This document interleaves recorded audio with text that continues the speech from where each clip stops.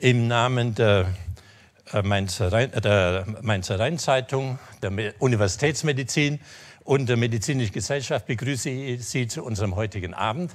Letztes Mal waren wir ja bei den Augen. Wir gehen ein bisschen tiefer, bleiben aber im Gesichtsbereich und äh, kommen bei den Zähnen an. Nun, dass die Erhaltung von Zähnen wichtig ist, das haben wir heute äh, alle oder haben wir alle schon am eigenen Körper erfahren. Was wissenschaftlich darum passiert in diesem Bereich, wie man Zähne erhält, wie man es vorbeugen kann, dass sie nicht ausfallen, welche kulturelle Bedeutung hat, das werden wir heute hören. Und ich freue mich ganz besonders, dass ich zunächst die Direktorin der Polyklinik für Zahnerhaltungskunde Ihnen vorstellen kann, Frau Professor Willershausen. Ihr Lebenslauf ist bemerkenswert auf der einen Seite, auf der anderen Seite auch bemerkenswert geradlinig. Zunächst mal bemerkenswert, sie hat nicht mit Medizin angefangen, sondern sie hat in München Chemie studiert, dies auch abgeschlossen und damit war Frau äh, Willershausen Diplom-Chemiker, das ist sie auch heute noch. Aus Gründen, die ich jetzt nicht weiß, ich nehme aber an, dass es wahrscheinlich das Interesse am Menschen war, war es dann mit der Chemie doch nicht so der Berufsweg, sondern sie studierte Medizin. Natürlich schloss sie das ab, sie hat promoviert und damit war sie nun Diplomchemiker, Dr. Medent Willershausen. Aber dann kam jetzt der geradlinige Weg. Sie ist in München in der Zahnklinik geblieben. Das heißt wahrscheinlich anders. Ich sage jetzt mal Zahnklinik, hat man früher so gesagt. In der Abteilung für Zahnerhaltungskunde von, äh, von 83, 1983 bis 93. In der Zeit hat sie natürlich ihre Facharztausbildung gemacht und hat sich habilitiert. Und kurze Zeit später war sie dann Professor. Und so ist sie nun heute Frau Professor, Diplomchemiker, Doktor Willershausen. Ihre Arbeitsgebiete ergeben sich aus den Namen. Es geht im weitesten Sinne um Zahnerhaltungskunde.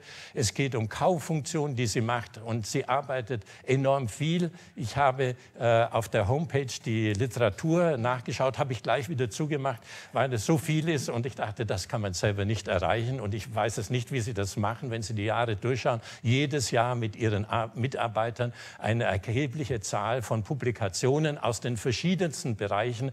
Und das muss natürlich alles mal äh, gearbeitet werden. Das geht nicht von selber. Können Sie vorstellen, diese, dieser Platz in einem Journal muss man sich erarbeiten. Das muss eine gute Arbeit sein. Das muss angenommen werden. Man muss diskutieren und so weiter. Und wie Sie das alles noch machen, neben Ihrer klinischen Arbeit, wo immer, wenn ich drüben bin, bei Ihnen die Patienten aus- und eingehen, ein permanenter Fluss von Patienten. Ich weiß es eigentlich nicht recht. Aber sie macht es mit Charme. Und heute macht sie nun ein ganz anderes äh, Kapitel. Sie spricht über die kulturelle Bedeutung der Zähne. Wir machen uns gar keinen Begriff mehr, äh, welche Bedeutung die Zähne eigentlich haben. Früher hat man das Lebensalter daran gesehen. Den Leuten sind die Zähne ausgefallen. Dann gingen sie nicht mehr unter die Leute. Sie konnten nicht mehr essen. Und dass wir heute im Alter, soweit wir nicht von Krankheiten heimgesucht sind, relativ gut ausschauen, das hängt auch mit der Kunst der Zahnheilkunde zusammen, die eben dieses Altersproblem ausschaltet uns schöne, glänzend weiße Zähne beschert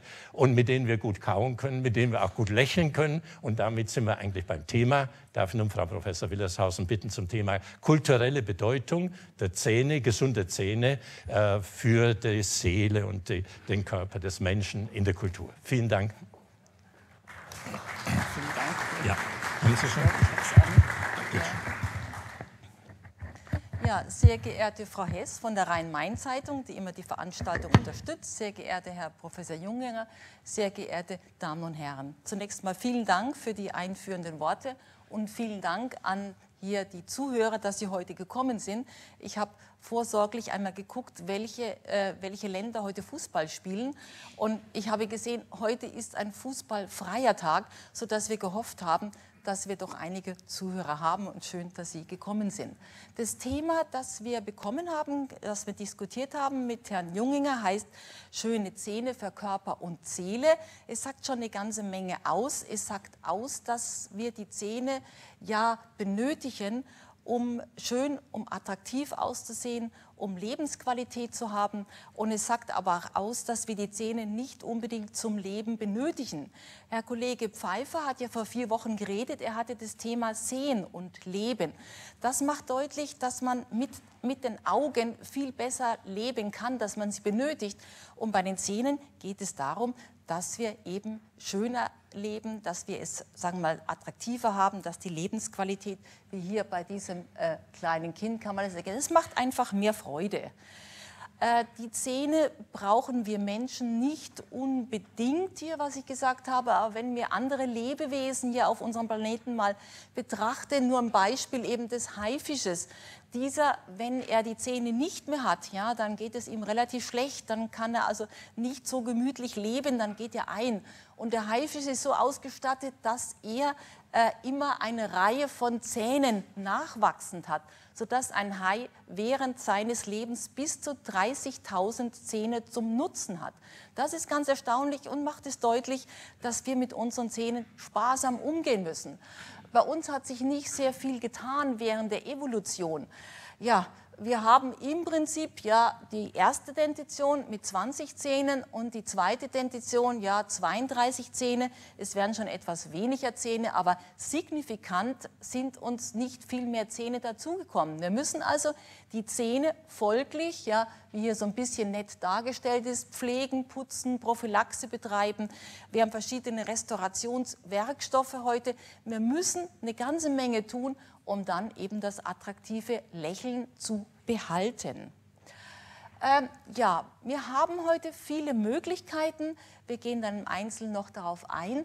Äh, das ist ein Blick in unseren Kurs, wo unsere Studierenden äh, ihr Bestes tun, um äh, zukünftig in der Zahnmedizin fit zu sein. Und Sie sehen lang die Zahnbürste.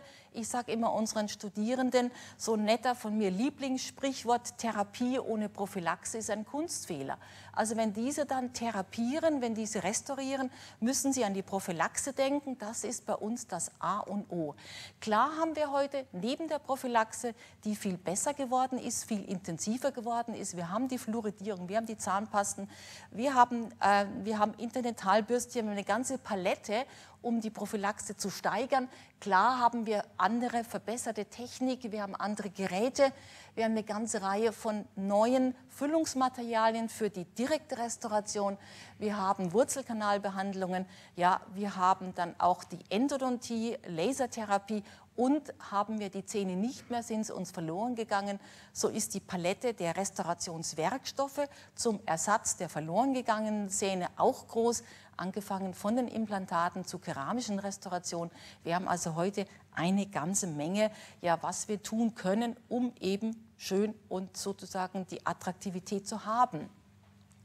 In der Zahnerhaltung haben wir zwei Begriffe. Einmal die weiße und die rote Ästhetik. Die rote Ästhetik, das ist, nennen wir die Ästhetik sozusagen für das Zahnbett, ja, für das Zahnfleisch, dass es nicht entzündet ist. So einige Beispiele, darauf wird dann Privatdozent Dr. Kascher noch mit Beispielen äh, näher darauf eingehen. Ich habe jetzt extra mal ein paar nicht so ganz schreckliche Beispiele gewählt, ja, damit Sie ja nachher noch Appetit haben und was essen können. Aber man kann so eigentlich eine ganze Menge machen. Oder auch die weiße Ästhetik, auch ein paar nette Beispiele. Ein Patient von mir, Sie sehen, da habe ich mit verschiedenen Werkstoffen gearbeitet, Keramik oder plastische Füllungstherapie. Und da wird dann auch Professor Ernst noch ein bisschen näher drauf eingehen. Und so haben wir den Blog heute Abend unterteilt. Ich hab, beginne dann nachher mit so etwas, sagen wir, ein bisschen historischen Rückblick wie man früher die Zähne geachtet hat, was man früher getan hat, um die Zähne gesund zu erhalten, wie man sie geschmückt hat, wie die Patienten darunter gelitten haben unter den Zähnen. Dann wird der Oberarzt, Privatdozent Dr. Kaschai reden über die Möglichkeiten der Therapie, der Gesunderhaltung des Zahnhalteapparates. Wir haben es einfach mal so genannt, das, Fund der, das Fundament der oralen Gesundheit. Und als Abschluss wird der Oberarzt, Herr Professor Ernst, reden über die Möglichkeiten der weißen Ästhetik, was wir heute alles tun können, um die verloren gegangene Zahnhartsubstanz, die auch vielleicht teilweise unschöne Veränderungen hat, um diese dann mit einfachen Techniken wieder aufzubauen. Und ganz klar werden beide Oberärzte auch unsere aktuellen Forschungen äh, einbauen, was wir machen in der Paradontologie, ob es dann eben Knochenersatzmaterialien sind oder neue Techniken in der regenerativen Therapie. Und auch Professor Ernst ist bei uns der Spezialist für die zahnfarbenen Kunststoffe, was wir alles auch tun und welche klinischen Studien wir durchführen. Äh, zur Ästhetik, zur Schönheit, ja, ist immer so ein ganz schöner Satz von dem äh, Hof, von dem Leibarzt von Papst Julius II., den ich immer sehr charakteristisch finde und eigentlich immer passend, ja. Ähm, die Zähne dienen der Anmut zum Kauen und zur Aussprache und deshalb müssen sie mit aller Sorgfalt kuriert werden. Das war damals schon so. Ist klar, man wusste, wenn man die Zähne nicht pflegt, dann hat man keine Anmut. Dann hat man nicht eben, die, sag mal, das Gefühl ja, für Körper und Seele. Dann geht das verloren. Und das ist ein ganz, ganz nettes Beispiel. Das habe ich von meinem Oberarztkollegen Ernst bekommen der hatte eine Patientin, die klagte, dass ihr Pferd nicht sehr anmutig wäre, dass das Pferd sozusagen ne, aus dem Mund riecht und was man tun könnte als Zahnarzt, und er hat dann eine Bürste, ja, die wir zu Demozwecken haben, ja, ihr gegeben und hat dieses Foto gemacht. Also das ist immer so ein nettes Beispiel, was uns eigentlich alles so einfällt. Da auch nur ein Beispiel. Die Zähne, im Prinzip ist Lachen ja ein angeborenes Ausdrucksverhalten des Menschen. Und dieses Mädchen, das vor kurzem bei uns war, das habe ich gefragt, es soll mich doch mal anlachen, einfach mal lächeln. Ja, und Sie sehen, die Lippen sind zu, es wollte einfach nicht. Und dann haben wir versucht, mit ein paar Tricks sie doch zum Lachen zu kriegen. Es fehlten nur ein paar Zähne, weil es der Zahnwechsel war. Selbst diese fehlenden Zähne und die Lücke haben das Mädchen eben dazu gehindert, ganz spontan ein Lächeln hervorzubringen. Heute haben wir, ja, im Gegensatz zu früher, haben die Zähne noch eine ganz andere Bedeutung. Heute haben wir die Zähne, ja klar, ja, für Erfolg im Beruf, für das attraktive Lächeln, ja, Durchsetzungsvermögen. Und wenn wir die ganze Reihe sozusagen von den Politikern angefangen zu den Fußballern, da sehen wir eigentlich, ja, für was wir die Zähne nutzen. Nicht nur zur Anmut, klar, zur Aussprache, zur Attraktivität, wir nutzen die Zähne auch zur Aggressivität ja, und Kampfgeist bis hin eben zur Hilflosigkeit. Das ist eine ganze Reihe von äh, Begriffen, die mit den Zähnen einhergehen. Und auf dem nächsten Beispiel, auf dem nächsten Bild sind so einige Bedeutungen ja, der Zähne mal zusammengefasst, wie wir sie im Volksmund eigentlich haben. Auge um Auge, Zahn um Zahn. Das ist einer der bekanntesten Sprüche aus der Bibel. Aber wenn wir so die Begriffe dann auch sehen hier, sich in den Hintern beißen, das können wir nur, ja, wenn wir A, wütend sind und wenn wir noch Zähne haben. Ja. Auf Granit beißen, da wird schon etwas schwer, da haben wir Mühe damit. Ja. Das heißt also wirklich, wir bleiben hängen bis an die Zähne bewaffnet sein. Das heißt ja, also maximal, da sind auch wieder die Zähne mit für den Kampfgeist, für die Bewaffnung. Ja, wenn wir auf dem Zahnfleisch gehen, dann geht es uns eben nicht mehr gut. Da ist die Anmut verloren gegangen und die Attraktivität der hohle Zahn, das ist auch, hm, ja, das ist auch ein Beispiel, dass es, wir schon Mühe haben. Ins Gras beißen ist auch so etwas, was uns sagt, uns geht es nicht gut, die Zähne sind verloren gegangen. In den sauren Apfel beißen, da haben wir es auch nicht so besonders gut. Ja. Der Zahn der Zeit macht deutlich, Gebrauchsperiode der Zähne, auch die Zähne zeigen Spuren des Alterns. Dann haben wir der steile Zahn. Das ist sozusagen die äh, Kampfeslust oder die Attraktivität, die Zähne zusammenbeißen. Damit geht es uns auch nicht so besonders gut.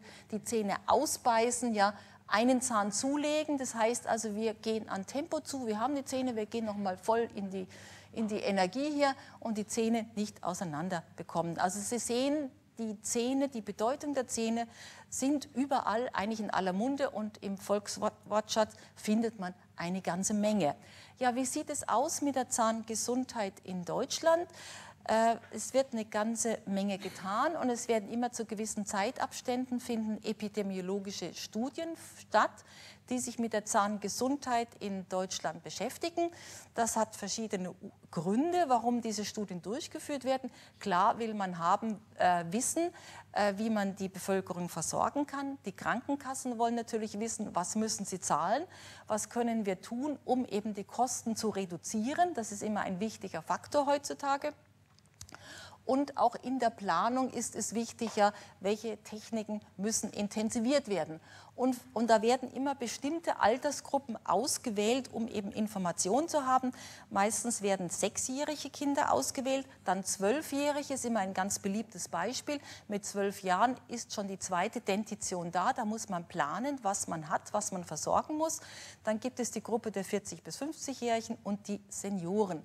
Und vor 25 Jahren, äh, oh, Sie mal, jetzt gehe ich vor 25 Jahren fand man, dass die Zahngesundheit in Deutschland nicht so doll war. Ja, da hatte man im Schnitt, ja, bei den Zwölfjährigen hatten, fanden sich sieben Zähne, die einen Defekt hatten. Bei Zwölfjährigen in der zweiten Dentition. Das war doch sehr erschreckend, sodass man dann angefangen hat, gemeinsam mit den Landeszahnärztekammern, mit den Gesundheitsämtern, hat man überlegt, wie kann man diese immensen, sagen wir, zukommenden Kosten reduzieren. Und da wurde dann begonnen, intensiv mit Prophylaxe-Programmen, Individual- und Gruppenprophylaxe. Man hat mit der Fluoridierung, Pastenfluoridierungen, Zahnpastafluoridierung, man hat eine ganze Menge gemacht. Und wie Sie sehen, dann im Jahr 1997 äh, ein signifikanter Erfolg der Prophylaxemaßnahmen. Die Zwölfjährigen hatten im Schnitt weniger als zwei Zähne, die irgendein Defekt hatten oder kariös waren. Im Jahr 2004 waren es noch weniger. Also das sind wirklich Zahlen, worauf die Zahnärzte sehr, sehr stolz sind. Ja, bewusst auch, wo wir viel getan haben und wo man sieht, ja, was man durch die Prophylaxekonzepte erreichen kann. Das ist jetzt eine ganz aktuelle Studie von dem Institut Deutscher Zahnärzte aus dem Jahr 2011. Das zeigt dann, äh, wie die Zahngesundheit in den neuen und alten Bundesländern verlaufen ist. Wir haben oben die graue Skala, das waren diese äh, knapp sieben Zähne bei den Zwölfjährigen in den alten Bundesländern. In den neuen Bundesländern hatten wir nicht ganz so parallel die Befunde. Ja, aber ein paar Jahre später sieht man, dass hier noch deutliche bessere Werte vorlagen lag daran, dass in den neuen Bundesländern eine Trinkwasserfluoridierung durchgeführt wird. Die Ernährung war nicht so, sagen wir mal, differenziert, wie sie bei uns war. Softdrinks, Fastfood gab es nicht in dem Maße. Da habe ich jetzt die Öffnung der Grenze 1990. Da sieht man, dass in den alten Bundesländern weiterhin die Prophylaxe greift, eine weiterhin Verbesserung durch unsere Konzepte auch, ja, Verbesserung der Zahngesundheit erreicht worden ist. Und hier in den neuen Bundesländern klar das Nahrungsangebot, Wegfall der Trinkwasserfluoridierung. Und da, diese haben sich jetzt so im Laufe der Zeit also angepasst. Also jetzt im Jahr 2009 wirklich sehr, sehr gute Ergebnisse zur Zahngesundheit. Ja, jetzt noch auch so einige Begriffe, ja, die auch typisch sind sozusagen mit ähm, dem Sprachgebrauch der Zähne. Man sagt ja, warum fühlt man jemanden auf den Zahn? Wir hatten vorhin ja schon den Begriff den Zahn, der Zahn der, der Zeit der Zahn, ja Zahn der Zeit. Also dass sich sozusagen während der Gebrauchsperiode die äh, Zähne einen gewissen Alterungsprozess zeigen und dass dieser Begriff auf den Zahn fühlen geht auf den Pferdehandel zurück. Ja, man wusste, dass man die Tiere anhand äh, der Zähne in etwa einem Alter zuordnen konnte. Und damals haben die erfahrenen Pferdehändler, wenn sie ein Tier verkaufen wollten, diesem Tier eine kleine Intoxikation mit Arsen gegeben. Und diese Intoxikation, klar, hat dazu geführt, dass die Tiere eben sozusagen aggressiver und feuriger wurden und man dachte dann, die Tiere wären etwas jünger. Und so weiß man, ja, man hat dann eben doch auf die Zähne geguckt und deshalb ist dieser Begriff auch, ja, man schaut einem geschenkten Gaul nicht ins Maul. Das sagt also, wir wollen nicht das wahre Alter sehen. Und dann auch noch so ein Begriff, was haben Haare auf den Zähnen zu suchen? Der Begriff kennt man auch, dass man sagt zum Beispiel zu einem weiblichen Wesen, die hat aber Haare auf den Zähnen. Das hängt damit zusammen, dass früher eben äh, Haare insbesondere bei den Männern ja als sozusagen als Zeichen der Männlichkeit galten, wenn sie viele Haare hatten. Und diese Redewendung, die eben mehr heute bei den Frauen gesagt wird, sagt dann, wenn die Frau Haare auf den Zähnen hat, dass sie durchaus männliche Eigenschaften angenommen hat. Ja, jetzt möchte ich äh, kurz mal ein bisschen einen Blick in die Geschichte Ihnen da erzählen. Und es geht dann darum, was hatte man früher, welche Vorstellung von der Zahngesundheit oder von der Zahnästhetik hatte man früher, welche Möglichkeiten hatte man? Hatte man Zahnverzierungen, hatte man Zahnersatz oder haben die Leute einfach früher nur unter Zahnschmerzen schrecklich gelitten? Ich habe jetzt einige Kulturkreise ausgewählt. Ähm, viele, zu viele Kulturkreise würde eben sie etwas langweilen. Und ich habe jetzt Kulturkreise ausgewählt, bei denen auch wir entsprechend Information haben über äh, Bezüge über die Zahngesundheit. Die, ich gehe jetzt mal nach Mittelamerika, die Kultur der Mayas, diese ist äh, bekannt hier. Und an, an, ähm, aus Grabfunden hat man sehen können, dass äh, an den Zähnen doch äh, Verzierungen äh, Veränderungen vorgenommen worden sind. Und man nimmt an, dass diese Verzierungen der Zähne wahrscheinlich religiöse oder rituelle Gründe gehabt haben. Daher nur ein Beispiel.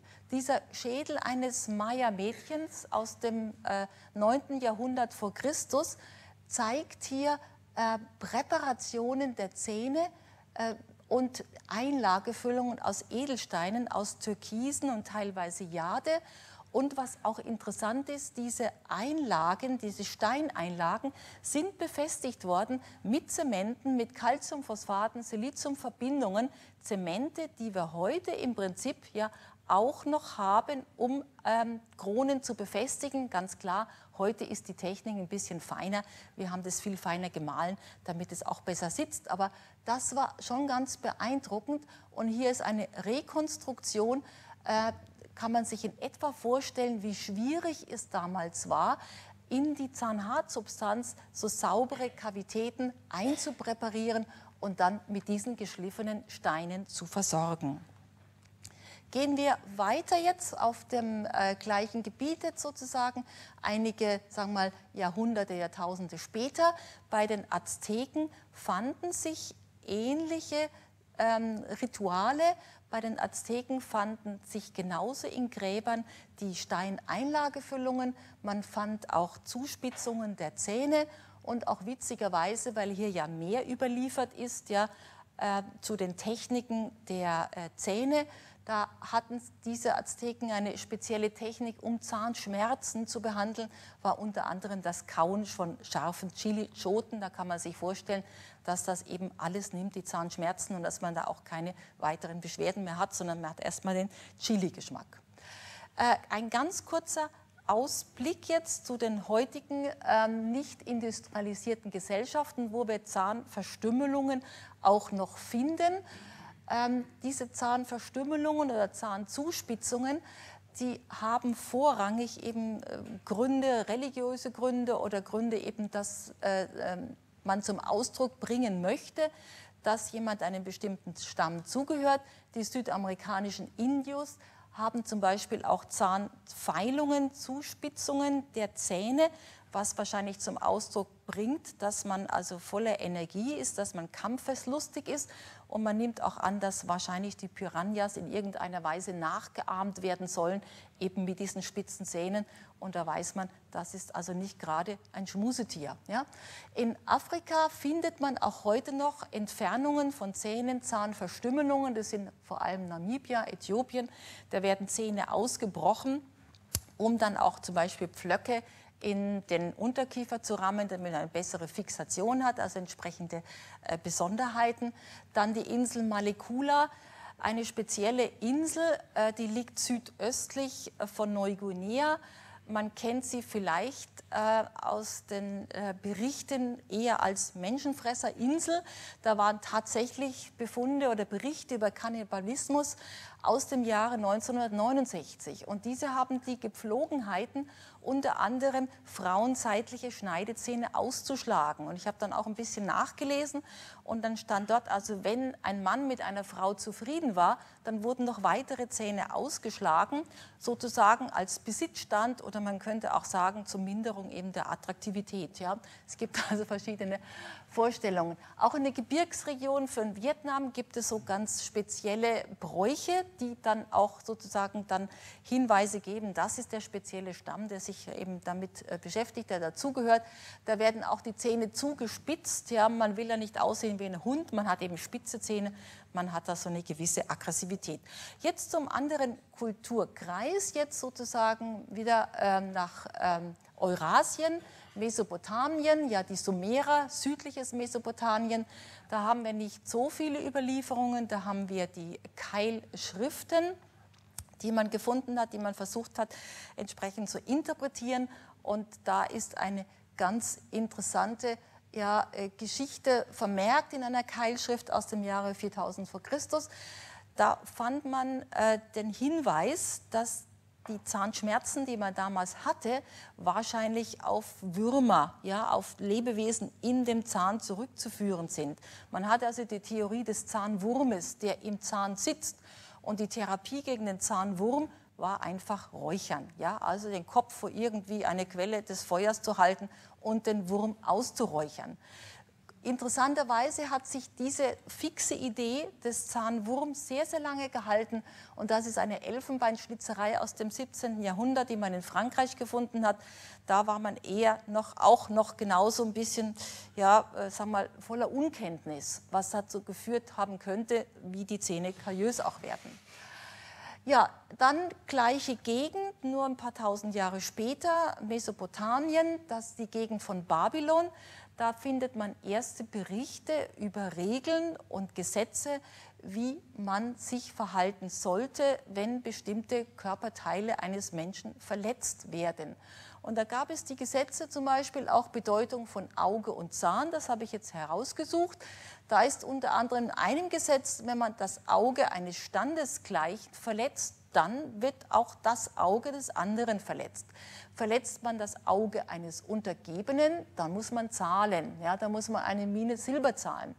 Geht es um den Zahn, Standesgleichen, heißt das, wird genauso bezahlt. Aber das sehen wir auch bei dem Untergebenen. Der Zahn ist schon einiges billiger als das Auge. Er kostet nämlich nur noch ein Drittel einer Mine Silber. Aber man hat schon festgelegt, dass die Bedeutung eben dann, äh, wenn Verletzungen stattfinden, das entsprechend gestraft wird. Jetzt wieder die gleiche Region zu dem Assyrischen Reich. Hier sehen wir die Ausdehnung des Reiches, das Neuassyrische Reich hier. Äh, da gibt es auch Berichte dann über die Ärzte. Man hat dann nachgedacht über Behandlungen. Es gibt da keine Berichte groß über Zahnschmuck oder Zahnverzierungen und Zahnfeilungen habe ich auch nicht gefunden, aber man hat Hinweise, dass man etwas getan hat, um die Zahnschmerzen zu beheben. Und da ist vermittelt noch äh, von äh, dem Hofarzt des äh, mächtigsten Königs des Assyrischen Reiches, ja, der ihm dann die äh, Information gegeben, dass eine Entzündung, die der Sohn des Königs hatte, dass diese Entzündung, von der sein Kopf, die Hände und Füße betroffen sind, dass diese wahrscheinlich auf den Zahn zurückzuführen sind und er müsse gezogen werden.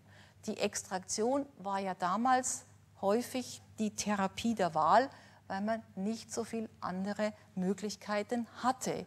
Jetzt zur gleichen Region, ein bisschen verschoben hier, zu den Hebräern, das Alte Testament, das man annimmt, dass in etwa 800 bis 200 vor Christus, dass hier entsprechende Schriften gesammelt worden sind. Und hier wird die Bedeutung der Zähne mehrfach erwähnt. Hier wird unter anderem auch dann geschrieben, hier gesunde Zähne im Hohelizanomos. Gesunde Zähne sind ein Zeichen für Schönheit und Symbol für Stärke. Sind die Zähne nicht mehr vorhanden, ja, dann ist man schwach und gebrechlich. Oder im dritten Psalm Davids wird der Schluss gezogen, dass seine Feinde machtlos wurden, weil sie ihre Zähne verloren hatten. Oder es wird auch erwähnt, ja, im Psalm, auf Herr, du schlägst alle meine Feinde auf die Backe und zerschmetterst der gottlosen Zähne. Also auch hier die Bedeutung der Zähne für Macht, ja, für eben Durchsetzungsvermögen, für Aggressivität. Erwähnt werden muss auch hier Talmud, das bedeutende Schrifttum des Judentums. Hier gibt es ganz präzise Vorstellungen von Ästhetik, ja, von eben Anmut oder sagen wir Überzeugungskraft. Hier wird geschrieben in Bechaut, wem die Zähne ausgefallen sind, der ist zum Priesterdienst untauglich wegen des schlechten Aussehens. Und ein Priester, dessen eine Lippe die andere überragt, ist dienstuntauglich. Na, dafür konnte er nicht. Das ist die Progenie genetisch bedingt. Aber zumindest man, man sollte auf die Zähne achten, sonst kann man nicht mit entsprechender Würde oder Durchsetzungsvermögen auf die Zähne achten. Auch erwähnenswert ist hier die Bemerkung, dass ein junges Mädchen äh, als hässlich galt, weil der Zahnersatz nicht schön war. Und ein Priester hat sich das Mädchen erbarmt und es hat einen goldenen Zahn bekommen. Und man findet auch den Hinweis, ja, Zahnersatz ist weibliche Schmucksachen. Also als Mann hat man nicht unbedingt, höchstens man wollte Priester werden, hat man auf die Zähne geachtet. Dann auch die Bibel kurz, da sind eine ganze Menge. Die Bedeutungssätze habe ich jetzt einfach mal aufgeschrieben. Ja, Auge um Auge, Zahn um Zahn, ja, Hand um Hand, ja, Fuß um Fuß. Das waren Regeln, die Rechte hebräischer Sklaven ja, zum Vergehen gegen Leib und äh, äh, Leben. Oder auch, was im Evangelium von Matthäus aufgeführt ist, ja, die aber, für die das Reich bestimmt war, werden hinausgeworfen in die äußerste Finsternis und dort geht es auch nicht schlecht, dort werden sie heulen und mit den Zähnen knirschen. Also auch hier wieder die Bedeutung der Zähne. Dann etwas wieder mit der Zeit na, etwas schneller voran hier finden wir im äh, Gebiet des heutigen Libanon Ausgrabungen hier, ja, in der Nähe der antiken Stadt Sidon, finden wir einen Unterkiefer mit Zahnersatz. Vorsichtig hier mit Golddraht befestigt. Das waren geschnitzte Elfenbeinzähnchen, die man verwendet hat, um die fehlenden Zähne zu ersetzen. Also hier war auch, ja, fehlende Zähne war eben nicht attraktiv. Man hat hier versucht, das Ganze zu bisschen rekonstruieren und auch zu den Ägyptern jetzt wieder, das ein bedeutendes Reich auch war. Äh, hier wird beim Alten Reich, insbesondere der Pharao Diose, hat sich sehr beschäftigt mit Erkrankungen und ähm, bei ihm war es so, dass er bereits äh, bestimmte Ärzte hatte für bestimmte Erkrankungen. Und es wurde auch hier formuliert, es gab also Ärzte ja, für die Zähne, für die Augen, für den Bauch und für verborgene Erkrankungen. Und die Ägypter nach Ausgrabungen ja, war bekannt, dass sie doch sehr schlechte Zähne hatten. Äh, hängt wahrscheinlich mit der Ernährung zusammen. Sie haben sich sehr mit Brot ernährt. Brot wurde gemahlen. In dem Mahlpartikelchen waren sehr grobe äh, Körner und so kam es zu einem massiven Abrieb und dieser massive Abrieb hat zur Freilegung der Pulper geführt und dann zu Abszessen, sodass man häufig nichts anderes hatte an Möglichkeiten, als die Zähne zu extrahieren, was meist gemacht worden ist. Erwähnenswert sind auch bei den Papyri-Dokumenten das Papyrus Ebers. Das ist eines der ältesten erhaltensten Texte auf Papyrusblatt geschrieben mit medizinischen Themen. Äh, dort werden auch klar die, wieder die Zahnentzündungen, die Defekte des Zahnhalses, die Schmerzen erwähnt. Ja, und immer wieder findet man auch dann Blasen und Entzündungsprozesse. Ja, man, äh, und auch hier auf der Tafel kann man erkennen, was man als Therapie vorgeschlagen hatte, die Zähne zu extrahieren. Eine ganze Reihe von verschiedenen Instrumenten standen damals zur Verfügung. Und auch der erste Zahnarzt, der wirklich als solcher erwähnt wird, namentlich, war unter dem Regie von dem Pharao Diosa, der hatte seinen Zahnarzt, ein hoher altägyptischer Beamter, der Hesire, der in der Lage war, den er gerühmt hat, der größte der Ärzte, die die Zähne behandeln. Und wenn wir diesen Schädel betrachten, da kann man sich schon vorstellen, dass die Ägypter immens gelitten haben. Wir sehen die hohe Abrasivität, wir sehen die kariöse Läsion und auch hier Fistelgänge, Abszesse. Und man kann sich vorstellen, dass die dann doch immens gelitten haben. Man sieht ja auch so ein bisschen Versuch eben des Zahnersatzes. Gehen wir weiter jetzt zu Europa. Äh, Griechenland ja, hat sehr entscheidend die äh, europäische Zivilisation geprägt hier. Kreta war damals der höchst entwickelte Kulturbereich Europas. Äh, für Griechenland war bemerkenswert die Verehrung der Unterwelt. Und als Symbol sozusagen der Unterwelt, ja, für die Heilung war die Schlange da. Und die Schlange galt eben dann später als Wahrzeichen des griechischen Gottes der Heilkunde Asklepios. Und wenn man bei der Therapie sich dem Symbol der Schlange bedient hat, dann hatte man göttlichen Beistand. Auch zur Unterwelt zu der damaligen Zeit gehören die Gorgonen, die Homer beschrieben hatte als schreckliche Phantome des Hades. Ja, diese äh, Gorgonen, Sie sehen, hatten dann die Haare, waren Schlangenköpfe und auch bemerkenswert die Zähne, die beschrieben werden aus Messing und so groß wie Hauer von Keilern. Also auch da waren die Zähne für die Aggressivität, für die Kampfeslust, ja, für zur Furchteinlösung. Wir gehen weiter jetzt dann zu Hippokrates, der muss absolut erwähnt werden. Er hat sich dann beschäftigt mit den Therapien, mit den Erkrankungen. Er hat die grundlegenden Körpersäfte beschrieben und er hat auch äh, beschrieben, was man tun könnte bei Zahnschmerzen. Ja, ne? In der Regel, wenn er faul ist, muss er gezogen werden. Und auch äh, bei den Säften hat er gewisse Probleme. Und die Therapie hier auch wieder die Zange, die uns hilft hier. Dann zu den Etruskern weiter zum Römischen Reich. Die Etrusker, die gingen ja später dann auf im Römischen Reich, aber man fand bei ihnen bemerkenswerte Zahnfunde, Zahnrekonstruktionen. Diesmal waren es keine Elfenbeinzähne, die verwendet worden sind, sondern man hatte Zähne genommen von Kälbern und Ochsen. Klar nahm man junge Tiere, die keinen Abrieb zeigten und es waren also hier gelötete äh, Bänder, ja, um das Ganze zu befestigen und zu stabilisieren, um eben dann die Ästhetik zu haben.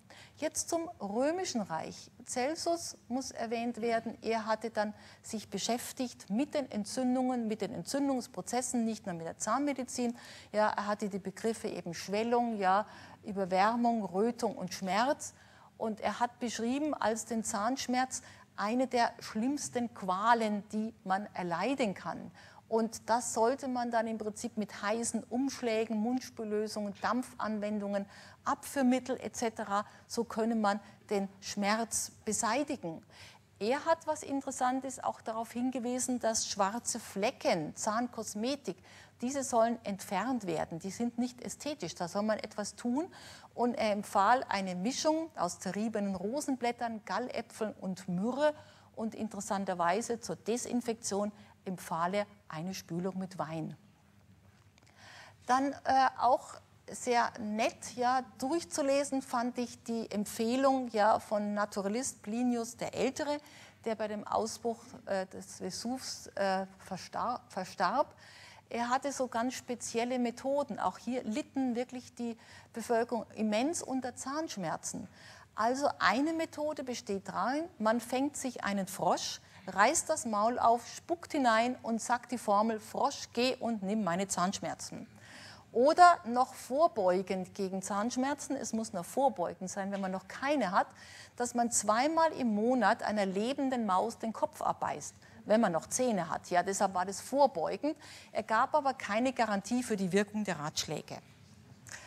Äh, erwähnenswert, klar, ist für uns die Zahnärzte, Apollonia, die Schutzheilige der Zahnärzte.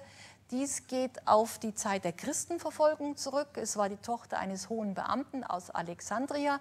Sie wurde verhaftet und sollte dem Glauben abschwören. Das wollte sie nicht. Deshalb hat man sie, wie viele Bilder auch zeigen, festgebunden und man hat gesagt, würde sie verbrennen auf dem Scheiterhaufen. Aber vorher wurden ihr ohne irgendwelche Betäubung alle Zähne gezogen. Und sie muss so Schmerzen gehabt haben, als man dann sie äh, äh zum, in die Flammen gab, soll sie gerufen haben, alle, die unter Zahnschmerzen leiden, sollen sie anrufen und sie würden dann geheilt werden. Und die Heiligsprechung von ihr war 1634 durch Papst Urban VII. Und seit der Zeit ist sie die Schutzheilige für die Zahnärzte. Schöne Zähne waren nicht in allen Bereichen das Erstrebenswerte. Wir haben ja gesehen, man kann sie zuspitzen. In Japan gab es ein ganz anderer Kulturkreis, bemerkenswert ja in der Hein äh, Periode, da wurden die Zähne schwarz gefärbt. Da war es besonders attraktiv und erotisch, wenn die Frauen schwarze Zähne haben. Und es war ein Zeichen der Geschlechtsreife ja, und eben der Volljährigkeit. Man hat dazu eisenmetallische Späne genommen, hat die in Säuren aufgelöst, diese ganzen Korrosionsprodukte gesammelt und damit die Zähne eingeschmiert. Klar musste man das immer wieder machen, weil die Farbe ja abging. Und so hat sich das dann weiter eben sehr etabliert. Später war es dann das Zeichen einer verlobten oder verheirateten Frau, wenn die Zähne schwarz waren. Und Ende des 19. Jahrhunderts hat man diesen Brauch dann verboten. Jetzt zum Mittelalter. Das war in Europa eigentlich keine so ganz gute Zeit. Da waren mehr die Zahnbrecher, da hat man sich weniger beschäftigt um die Ästhetik, sondern man hat mehr gelitten darunter. Und auch im 18. Jahrhundert wurde berichtet, dass dann von den Reichen die verloren gegangenen Zähne, ja, dass die man versuchte zu ersetzen. Und da hieß es, ja, es war üblich, armen Menschen die Zähne zu ziehen, denn sie leben sowieso nur von dünnen Züppchen und brauchen die Zähne nicht. Und die Reichen haben dann klar nur äquivalente Zähne entgegengenommen. Und in diesem Sinne möchte ich auch hier auf eine Ausstellung aufmerksam machen, die gerade in Mainz läuft. Ja, ja seliges Lächeln und höllisches Gelächter. Also im Mittelalter hatte man nicht so ganz viel zum Lachen. Meistens ging man zum Lachen in den Keller, weil man keine Zähne hatte. Und diese Ausstellung hier im Bischöflichen Dom in Amt kann man also bis zum 16. Ähm, äh, September in Mainz besichtigen. Jetzt habe ich nur einige ausgewählte Beispiele von Persönlichkeiten jetzt in der jüngsten Zeit. Mit der Ernährungsumstellung kam Zucker, kam die Karies und da kam das Leiden der Reichen. Ja, Zucker und die Leiden der Reichen. Nur einige Beispiele. Ja, König Ludwig XIV. Ja, man sieht ihn auch nicht unbedingt immer lächeln. Und damals war die Meinung so, die Zähne als möglicher Herd der Krankheitserregung möglichst schnell extrahieren, am besten noch bevor sie krank werden, ja, damit kein Eiterherd in irgendeiner Weise den Körper gefährdet. Und bei ihm, Ludwig XIV., war es ein Problem. Mit 40 Jahren hat er schon jede Menge Abszesse gehabt, Erkrankungen, ein paar Jahre später Fistelgänge. Und dann hat man angefangen mit der Reinextraktion. Und dabei ja, ist berichtet worden, ist, hat man einen Teil des Kieferhöhlenbodens mit extrahiert, was zur Folge hatte, dass der arme Mann zum Essen nicht nur den Keller musste, sondern in Seitengang, weil ihm sonst beim Essen die Flüssigkeit aus der Nase kam. Und das sind also wirklich unglaubliche Geschichten. Friedrich dem Großen, dem alten Fritz, ging es auch nicht so ganz gut mit den Zähnen. Und er berichtet dann 46-jährig, meine Haare sind grau, meine Zähne fallen aus, mein Hemd hat Falten. Ja. Und äh, er sagte auch einige Jahre später, er könne seine geliebte Flöte nicht mehr spielen, weil er keine Vorderzähne mehr habe. Und er hat ein ausgeprägtes Misstrauen nicht nur gegen Zahnärzte, sondern gegen Ärzte. Ärzte sind nur unfähige Zeugen des Leidens unserer Zeit. Und typisch, ja, wenn man den Gesichtsausdruck anguckt, ja, er ist geschlossen, der Mund, er ist ernst, er schaut nicht gerade lustig. Wolfgang Amadeus Mozart hat ein kurzes Leben, aber auch da hat er sehr unter Zahnschmerzen gelitten. Der Vater hat berichtet, der Wolfgang hat müssen sechs Tage mit geschwollenem Gesicht das Haus hüten. Die Wangen waren von außen und innen geschwollen und das rechte Auge, er konnte nur Süppchen essen. Und er starb mit 36 Jahren, die Ursache unklar, verschiedene Infektionen.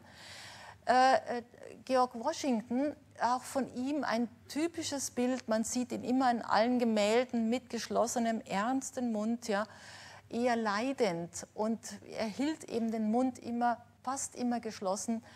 Als er 47 Jahr, 57 Jahre alt war, hatte er nur einen Zahn und mit, mit 40 Jahren bereits quälte er sich mit Zahnersatz, der alles andere als gut passte. Deshalb vermied er es, in der Öffentlichkeit zu sprechen oder groß eben zu reden. Und auf dem nächsten Bild sieht man, ja, was man damals getan hat, welche Möglichkeiten, um eben irgendwelche Zähne im Mund zu haben. Das ist seine Prothese, die er hatte, ja, geschnitzt aus einem Elfen-Nilpferdzahn. Ja, und da hat man natürliche Zähne aufgesetzt. Man kann sich vorstellen, dass es alles andere als passt, dass es im Prinzip ja eigentlich nur schmerzt hier. Und es ist berichtet worden, dass er bei offiziellen Mahlzeiten eher Nebenraum ging, um dort seine Mahlzeiten zu sich zu nehmen. Johann Wolfgang von Goethe, auch hier Gesichtsausdruck typisch für die Zeit. Er ebenfalls ist berichtet worden, dass er sehr, sehr starke Zahnschmerzen hatte, Eiterungen, Schwellungen und hat auch viele Extraktionen erleiden müssen. Und von ihm, er beschreibt, ich neide nichts, ich lasse es gehen und kann mich immer manchem gleich erhalten, zahnrein, aber junge neidlos anzusehen, das ist die Prüfung mein des Altens. Und im 17. und 18. Jahrhundert litten 80 Prozent der Bevölkerung unter heftigen Zahnschmerzen. Genauso ging es Sise von Österreich. Sie war hübsch, aber sie hat kaum gelächelt, weil sie hässliche Zähne hatte. Und es wurde berichtet, dass sie auch beim Sprechen den Mund kaum aufgemacht hat, um ihre Zähne eben nicht zu zeigen. Die Aussprache wird berichtet, war undeutlich ja, und man konnte ihr kaum zuhören. Jetzt mein letztes Beispiel, ja, um diese Geschichte des Leidens der Zähne ja, abzuschließen. Ja. Thomas Mann, Buddenbrocks Verfall einer Familie, Nobelpreis 1929. Hier wird berichtet, beschreibt Thomas Mann sehr schön die Leiden von Thomas Buddenbrock. Er schreibt, ein Backenzahn, er ist natürlich hohl, er ist unerträglich, immer gleich raus damit, das ist das Beste. Das war damals die Meinung. Die Zähne, wenn sie irgendwo Defekte zeigen, raus damit, sonst kann noch Schrecklicheres passieren. Er sucht dann, der Senator Buddenbrock, einen Zahnarzt auf und dieser versucht, den Zahn zu extrahieren.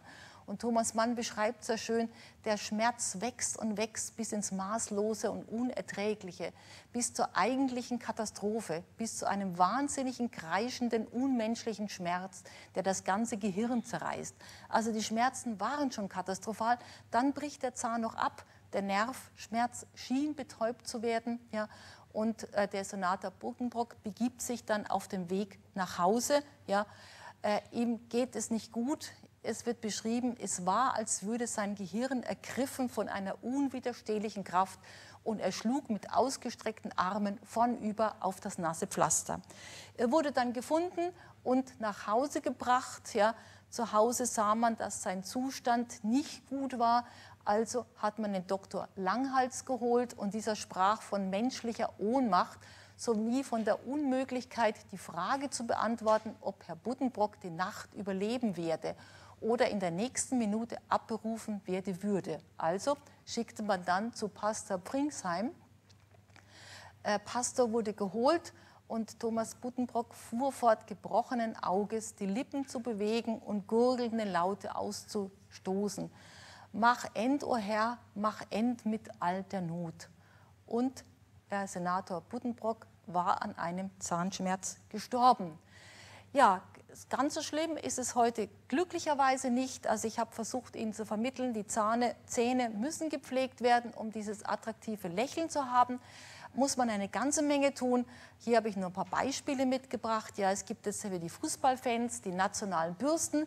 Ich habe die griechische Bürste leider nicht gefunden. Da war also scheint es keine große Nachfrage da.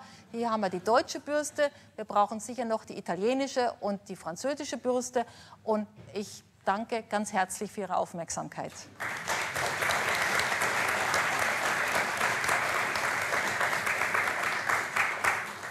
Ja, ich denke, wir machen gleich weiter und werden die Fragen am Ende des Blockes bringen. Als nächstes wird der Privatdozent Dr. Kaschai reden über die Möglichkeiten der äh, ähm, roten Ästhetik und es werden einige Studien auch gezeigt und einfach mal anhand von Bildern und Beispielen, was man alles machen kann, um das Fundament der Zahnerhaltung zu gestalten. Ja, vielen Dank. Meine sehr geehrten Damen und Herren, ich grüße Sie natürlich auch recht herzlich und möchte auch gleich äh, nahtlos äh, fortfahren. Die Pathodontologie, das ist der Teilbereich der Zahnmedizin, der sich mit dem Fundament, sage ich mal, auseinandergesetzt, mit dem Zahnhalteapparat. Zweifelsohne ist es der Bereich äh, der Zahnmedizin, der heute die Grundvoraussetzung ist für jegliche Zahnärztetherapie. Ich sage immer, es fängt alles mit der Pathodontologie an und es hört auch alles mit der Pathodontologie auf. Ja. Also es ist die Grundvoraussetzung für Chirurgie, für Implantate, für weiße Ästhetik, aber auch für Zahnersatz und kieferorthopädische Behandlung. Auf der anderen Seite ist die Padodontologie heute auch eine wichtige Schnittstelle zur Medizin geworden.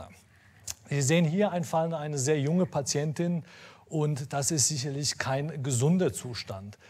Time Magazines 2004 auf der Titelseite äh, Zusammenhang zwischen chronischen Entzündungen und Herz-Kreislauf-Erkrankungen, Krebserkrankung, Alzheimer und hier die Bezeichnung Inflammation, the Secret Killer. In dem gleichen Artikel wird auch erwähnt, dass man die chronische Entzündung in der Mundhöhle durch den Einsatz von Zahnseide minimieren kann. Und ähm, seitdem wurden viele Untersuchungen durchgeführt, die diesen Zusammenhang zwischen Parodontitis als chronische Entzündung und äh, Allgemeinerkrankung ähm, versucht herzustellen, unter anderem koronare Herzerkrankungen, niedergewichtige Frühgeburten, Diabetes. Und es hat sich mittlerweile in den letzten Jahren auch der Teilbereich der parodontalen Medizin etabliert.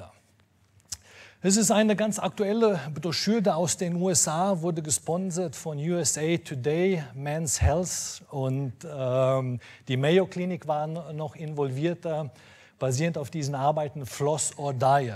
Das ist die äh, Überschrift. Das heißt, benutze Zahnseide oder stirpe. Ähm, gleichzeitig äh, kommt man zu dem Schluss, dass sehr wenig Patienten heute überhaupt Zahnseide benutzen. Hier spricht man von äh, weniger als 50 äh, Prozent. Die Zahn, Zahlen sind sehr, sehr gering. Also die Zahnseide hat heute keine sehr große äh, Akzeptanz bei unseren Patienten. Der zweite Teil der Broschüre geht auf mögliche Zusammenhänge ein. Das ist jetzt von Zusammenhang zwischen Parodontitis und erektiler Dysfunktion, Diabetes, Herz-Kreislauf-Erkrankungen, äh, Renalinsuffizienz, äh, Asthma. Ähm, man muss klar sagen, dass diese Zusammenhänge nicht alle wirklich gut nachgewiesen wurden. Also der, der Evidenzgrad äh, ist eigentlich heute nur für Diabetes äh, und koronare Herzerkrankungen äh, da. Aber wie gesagt, man hat sich auf diese Zusammenhänge konzentriert. Und man kommt dann zu dem Schluss, remember, if you ignore your teeth, they will go away. Und äh, noch als kleiner äh, Beisatz, and possibly lead to early demise. Das heißt, äh, ähm, äh, erinnere dich, ähm, wenn du deine Zähne ignorierst, du wirst sie verlieren und eventuell führt das zu einem früheren Ableben. Ganz so schlimm ist es nicht, aber wir wissen heute um diese Zusammenhänge Primär der etiologische Faktor für die Parodontitis ist der dentale äh, Biofilm. Und wir wissen, äh, dass eben diese Bakterien aus diesem dentalen Biofilm auch in den Kreislauf gelangen können, äh, dort äh, verteilt werden können und dementsprechend äh, ähm, zum Beispiel äh, zu koronaren Herzerkrankungen führen kann oder die Beeinflussung von Diabetes und umgekehrt. Also man weiß schon äh, ungefähr, wo die Zusammenhänge bestehen. Und es werden viele Studien äh, durchgeführt. Es gab dann auch eine Studie, die gesagt hat, okay, äh, Schwangere mit äh, Parodontitis haben eine erhöhte Gefahr äh, von niedergewichtigen Frühgeburten. Äh, da hat man noch Folgestudien durchgeführt und konnte das nicht wirklich nachweisen. Nun, wie entsteht äh, Parodontitis? Wir wissen heute, der primäre etiologische Faktor ist der dentale Biofilm. Wir haben parodontalpathogene Keime in diesem äh, Biofilm. Ähm, denken Sie an die aktuelle Listerine-Werbung äh, mit dem Boot. Ja, genau damit möchte man diesen äh, Biofilm verdeutlichen. Und auf der anderen Seite haben Sie auf der Seite des Wirtes die immunologisch-inflammatorische Reaktion, das heißt die Wirtsreaktion und das Ganze wird beeinflusst durch genetische Risikofaktoren auf der einen Seite, das heißt, das können wir nicht äh, beeinflussen. Auf der anderen Seite haben wir Umwelt- und erworbene Risikofaktoren, die können wir teilweise beeinflussen. Dazu wird gehören zum Beispiel das Rauchen oder Diabetes. Das heißt zusammenfassend ganz klar, Feind Nummer eins ist der dentale Biofilm, hier schön äh, gezeigt. Und auf der anderen Seite haben wir diese immunologisch-inflammatorische Wirtsreaktion. Nun, ähm, wenn ich meinen Patienten versuche, so die Bedeutung äh, der Parodontitis zu erklären, äh, mit was wir es zu tun haben, das ist so ein Patient mit einer moderaten Form der chronischen Parodontitis, die aber den gesamten Oberkiefer und Unterkiefer befallen hat. Diese Wundfläche entspricht ca. 72 Quadratzentimeter, was ungefähr der Handinnenfläche oder einem 5-Euro-Schein entspricht.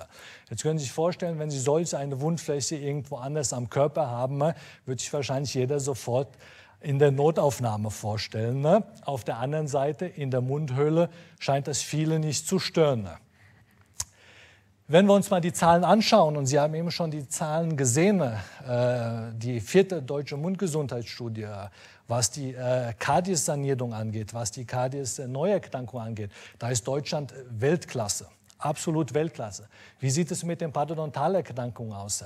katastrophale. Mehr als 50 Prozent der Erwachsenen leiden heute unter einer mittelschweren Form der Parodontitis. 20 Prozent haben eine schwere Form der Parodontitis. Bei den Senioren ist es noch schlechter. Knapp 50 Prozent der Senioren haben eine mittelschwere Parodontitis, 40 Prozent eine schwere Form der Parodontitis.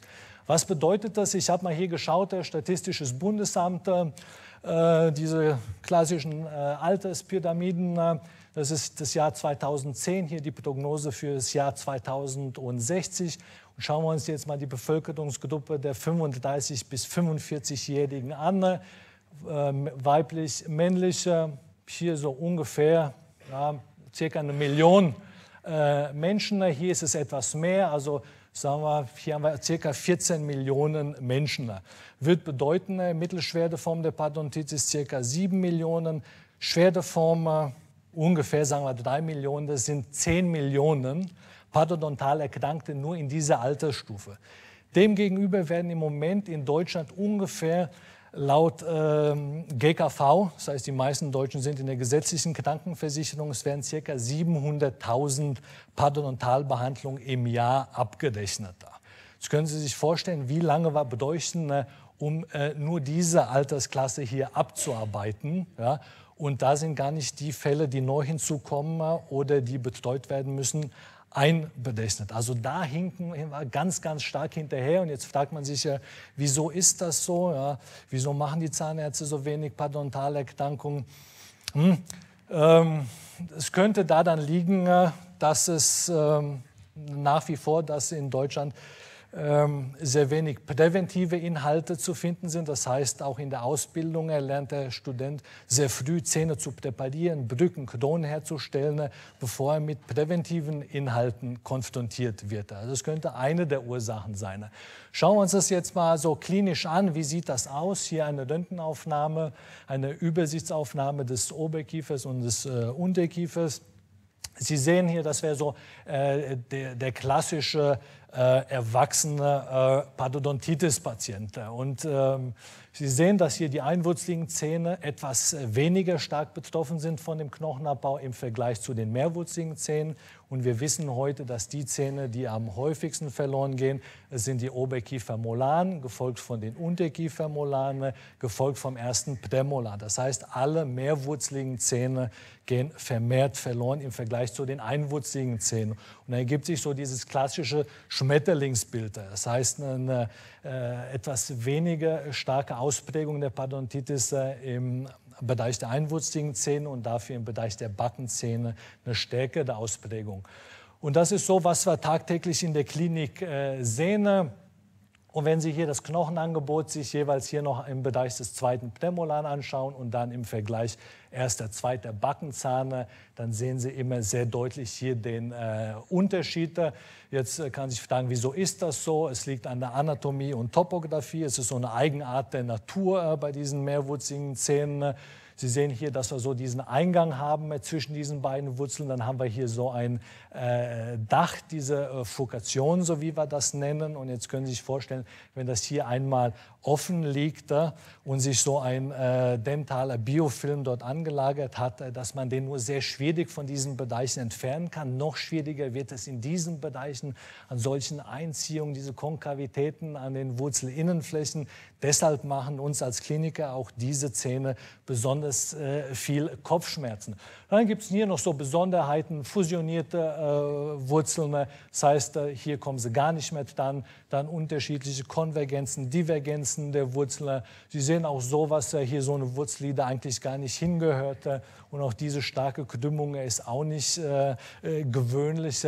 Dann haben wir auch so ganz seltene Strukturen. Äh, das ist so eine Schmelzperle, die sich genau dahin gesetzt hat, wo sie nicht hin soll, nämlich hier an den Eingang dieser Furkation. Dementsprechend ist dieser Zahn auch verloren äh, gegangen, äh, trotz aller äh, Bemühungen, die wir da reingesetzt haben. Nun, ich möchte Ihnen jetzt drei Patienten vorstellen und die repräsentieren eigentlich so das gesamte Spektrum. Das ist der Lehrer Mitte 50, der sich vorstellt, sagt, okay, in den letzten Jahren, ich habe das Ganze ein bisschen schleifen lassen.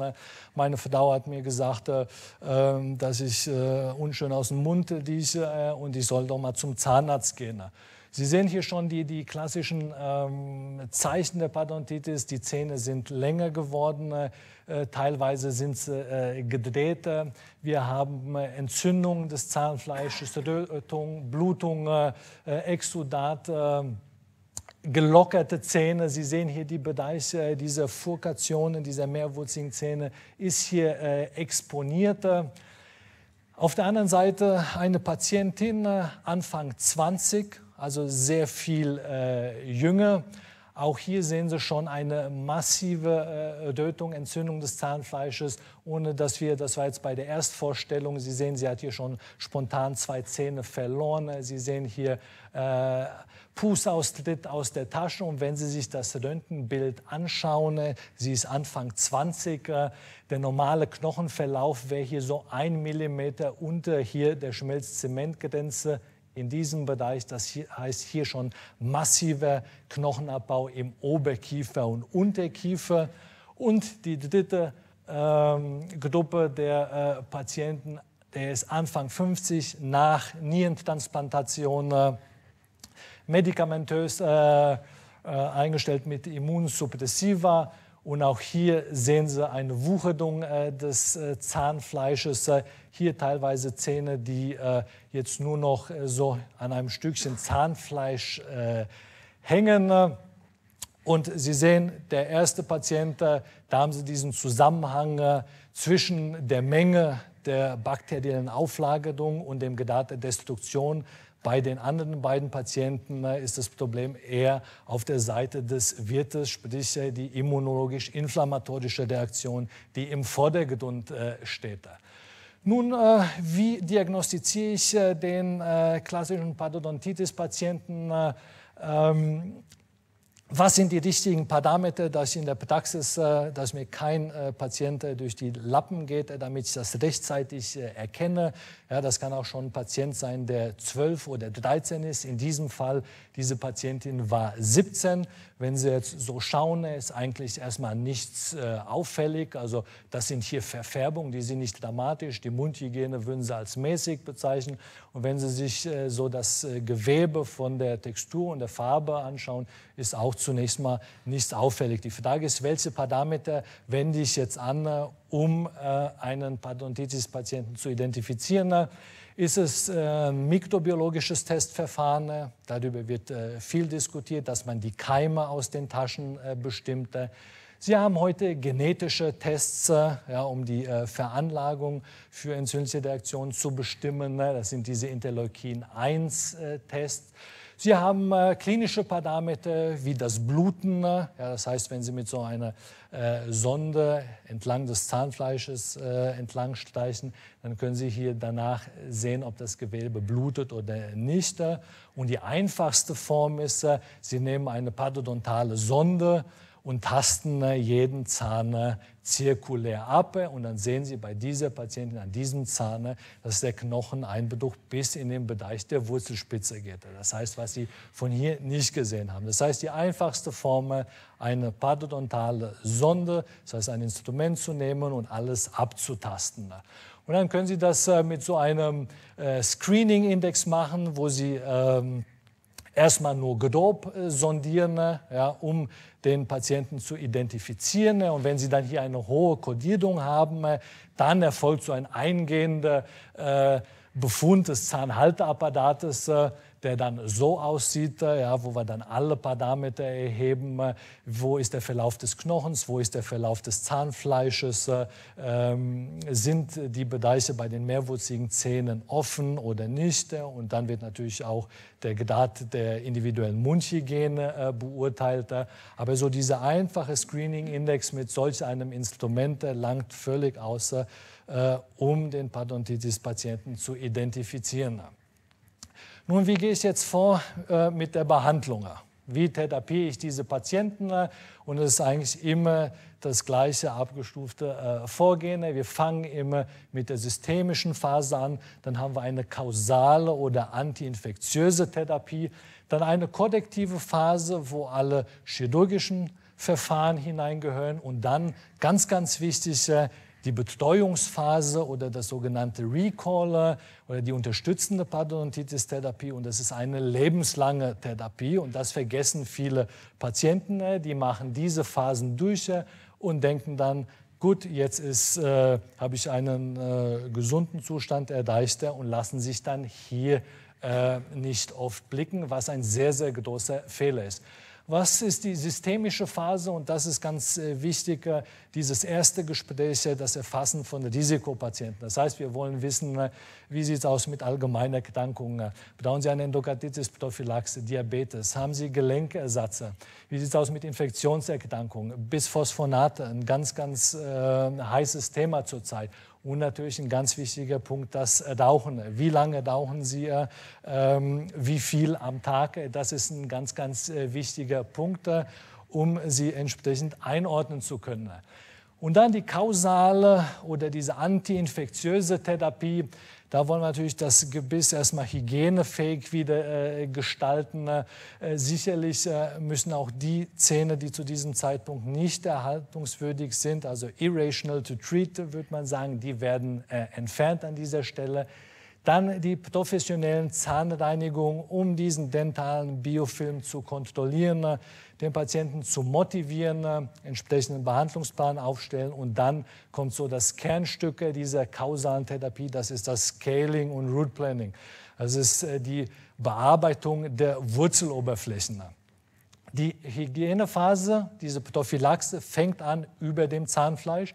Sie sehen hier, das sind mineralisierte Belege, die wiederum aber äh, lockere Auflagerung von diesem dentalen Biofilm äh, enthalten und die müssen initial entfernt werden, damit dieser Nachschub äh, hier über dem Zahnfleisch in die Tiefe der Tasche unterbrochen wird. Das wird dann so mit Handinstrumenten durchgeführt oder Ultraschallinstrumenten, oftmals auch kombiniert. Wir haben sowas hier wie Pulverstrahlgeräte, um die Verfärbungen zu entfernen, äh, Polituren, äh, hier die äh, Kontaktpunkte müssen gesäubert werden. Einweisung im Arbeiten mit Zahnseide, wobei wir wissen, die Akzeptanz ist sehr, sehr niedrig. Das heißt, ähm, der Patient bevorzugt definitiv äh, Interdentalbürstchen oder sogar äh, Interdentalhölzchen, aber das ist immer so die erste Phase, die auch ganz wichtig ist. In der zweiten Phase geht es dann unter das Zahnfleisch in die Tiefe und da geht es darum, diesen dentalen Biofilm von den Wurzeloberflächen zu entfernen. Das heißt, wir können schlussfolgern, dass diese Therapie sehr, sehr effektiv ist. Und die sollte auch nie übersprungen werden. Also auffällig wird es immer, äh, wenn man sagt, okay, wir operieren gleich oder wir implantieren gleich. Also diese Therapie sollte nie übersprungen werden. Und es ist wirklich eine sehr, sehr effektive Therapie, womit wir das ganze System wieder ins Gleichgewicht bekommen können. Kommen wir jetzt zur korrektiven Phase da geht es so in Richtung Chirurgie, das heißt, das, was uns da noch übrig geblieben wird, das wird in dieser Phase behoben. Wie sah das in der Vergangenheit aus? Das war aus dem äh, Textbook äh, The History of äh, Periodontology, wie sich die Parodontaltherapie in den letzten 100 Jahren entwickelt hat. Und so hat man damals äh, das Ganze gelöst. Sie sehen, man hat hier so Lappen gebildet. Dann hat man dieses entzündliche Gewebe entfernt. Dann hat man mit rotierenden Instrumenten hier den Knochen wieder ausgeformt, der durch die Parodontitis äh, verändert war. Hat hier ordentlich Weichgewebe weggenommen. Ja, so hat man diese Taschen radikal eliminiert. Das Ganze wurde vernäht und ähm, war sicherlich eine effektive Methode, ja, weil die Taschen haben sie eliminiert. Auf der anderen Seite äh, hatten sie sehr lange Zähne und aus dieser Zeit stammt auch die, die Phrase, if you want your teeth any longer, then longer. Das heißt, radikale Taschenelimination äh, war über Jahrzehnte hinweg Standard in der Parodontaltherapie. Sie sehen, äh, ich kann hier von Sondierungstiefen 8, 9 mm auf 2 kommen, aber die Zähne werden natürlich länger. Heute gibt es ähm, andere Wege, Möglichkeiten. Äh, wir gehen natürlich heute nicht mehr so radikal vor, aber das Prinzip äh, hat sicherlich auch heute noch Gültigkeit. Das ist so ein Großteil der Patienten, die wir heute äh, haben. Das heißt, der klassische erwachsene Patient mit einer moderaten bis teilweise fortgeschrittenen chronischen Form der Parodontitis. Wenn Sie sich das im Röntgenbild anschauen, auch hier stärker der Befall der Backenzähne im Vergleich zu den einwurzligen Zähnen und dann, wenn Sie dieses Instrument äh, zur Messung der Zahnfleischtaschen in die Hand nehmen, das hier zirkulär abtasten, dann sehen Sie, physiologisch wären drei bis vier Millimeter ohne Blutung. Sie kommen hier sieben, acht, neun Millimeter hinein. Distal von dem letzten, also hinter dem letzten Zahn, haben Sie oftmals so eine Verdickung, wo Sie noch tiefer hineinkommen. Ne? Und da können Sie dann sehr schön diese Methode anwenden. Sie sehen hier die Schnittführung nach dem Öffnen, dem Säubern der Wurzeloberflächen unter sich, dem Entfernen der Wurzeloberflächen, der, der, des Entzündungsgewebes und dann hier die Struktur, die ist verändert als Folge dieser Parodontitis. Also es ist immer so eine Art äh, äh Mondlandschaft, die man dort fortfindet äh, und man versucht, das hier einigermaßen physiologisch wieder äh, herzustellen. Sie sehen den Zustand nach der OP. Das war der Eingangsbefund und das war die Situation acht Monate, nachdem wir den Patienten operiert haben. Sie sehen keine Zahnfleischtaschen mehr, entzündungsfreie Situation. Sie sehen aber auch, die Zähne sind deutlich länger geworden. Das äh, Gewebe zwischen den Zähnen fehlt. Und jetzt muss natürlich der Patient optimal mitarbeiten und hier diese Bereiche auch sauber halten. Das ist Grundvoraussetzung, damit wir diese Zähne noch über lange, lange Zeit erhalten können. Dann gibt es noch andere Wege, wo wir nichts wegnehmen, sondern wo wir versuchen, was aufzubauen. Das ist eine Situation, wo äh, auch eine sehr junge Patientin, wo der Weisheitszahn entfernt wurde. Danach verblieb so ein großer Defekt, wo der Hauszahnarzt meinte, okay, jetzt entfernen wir auch noch den zweiten Backenzahn. War die Patientin nicht einverstanden. Und hier haben wir jetzt mit einem Biomaterial diesen Defekt aufgebaut, mit einer Membran abgedeckt. Und Sie sehen die Situation nach einem halben Jahr. Und hier würde jetzt keiner mehr auf den Gedanken kommen, diesen Zahn entfernen zu wollen. Das ist auch einer unserer Arbeitsschwerpunkte, Biomaterialien, Knochenersatzmaterialien, Membranen äh, zur Wiederherstellung von Zahnhalteapparaten. Auch das hier, Sie sehen initial röntgenologisch die Situation, äh, wirklich ein Zahn, der stark parodontal geschädigt ist, äh, wo sicherlich, äh, ich denke, die Mehrheit der Zahnärzte würden sich für eine Extraktion entscheiden, aber unter gewissen Voraussetzungen können sie auch hier so einen Zahn wieder aufbauen und das wäre die Situation zwei Jahre postoperativ. Wenn die Grundvoraussetzungen gegeben sind, äh, kann man auch sowas wieder herstellen.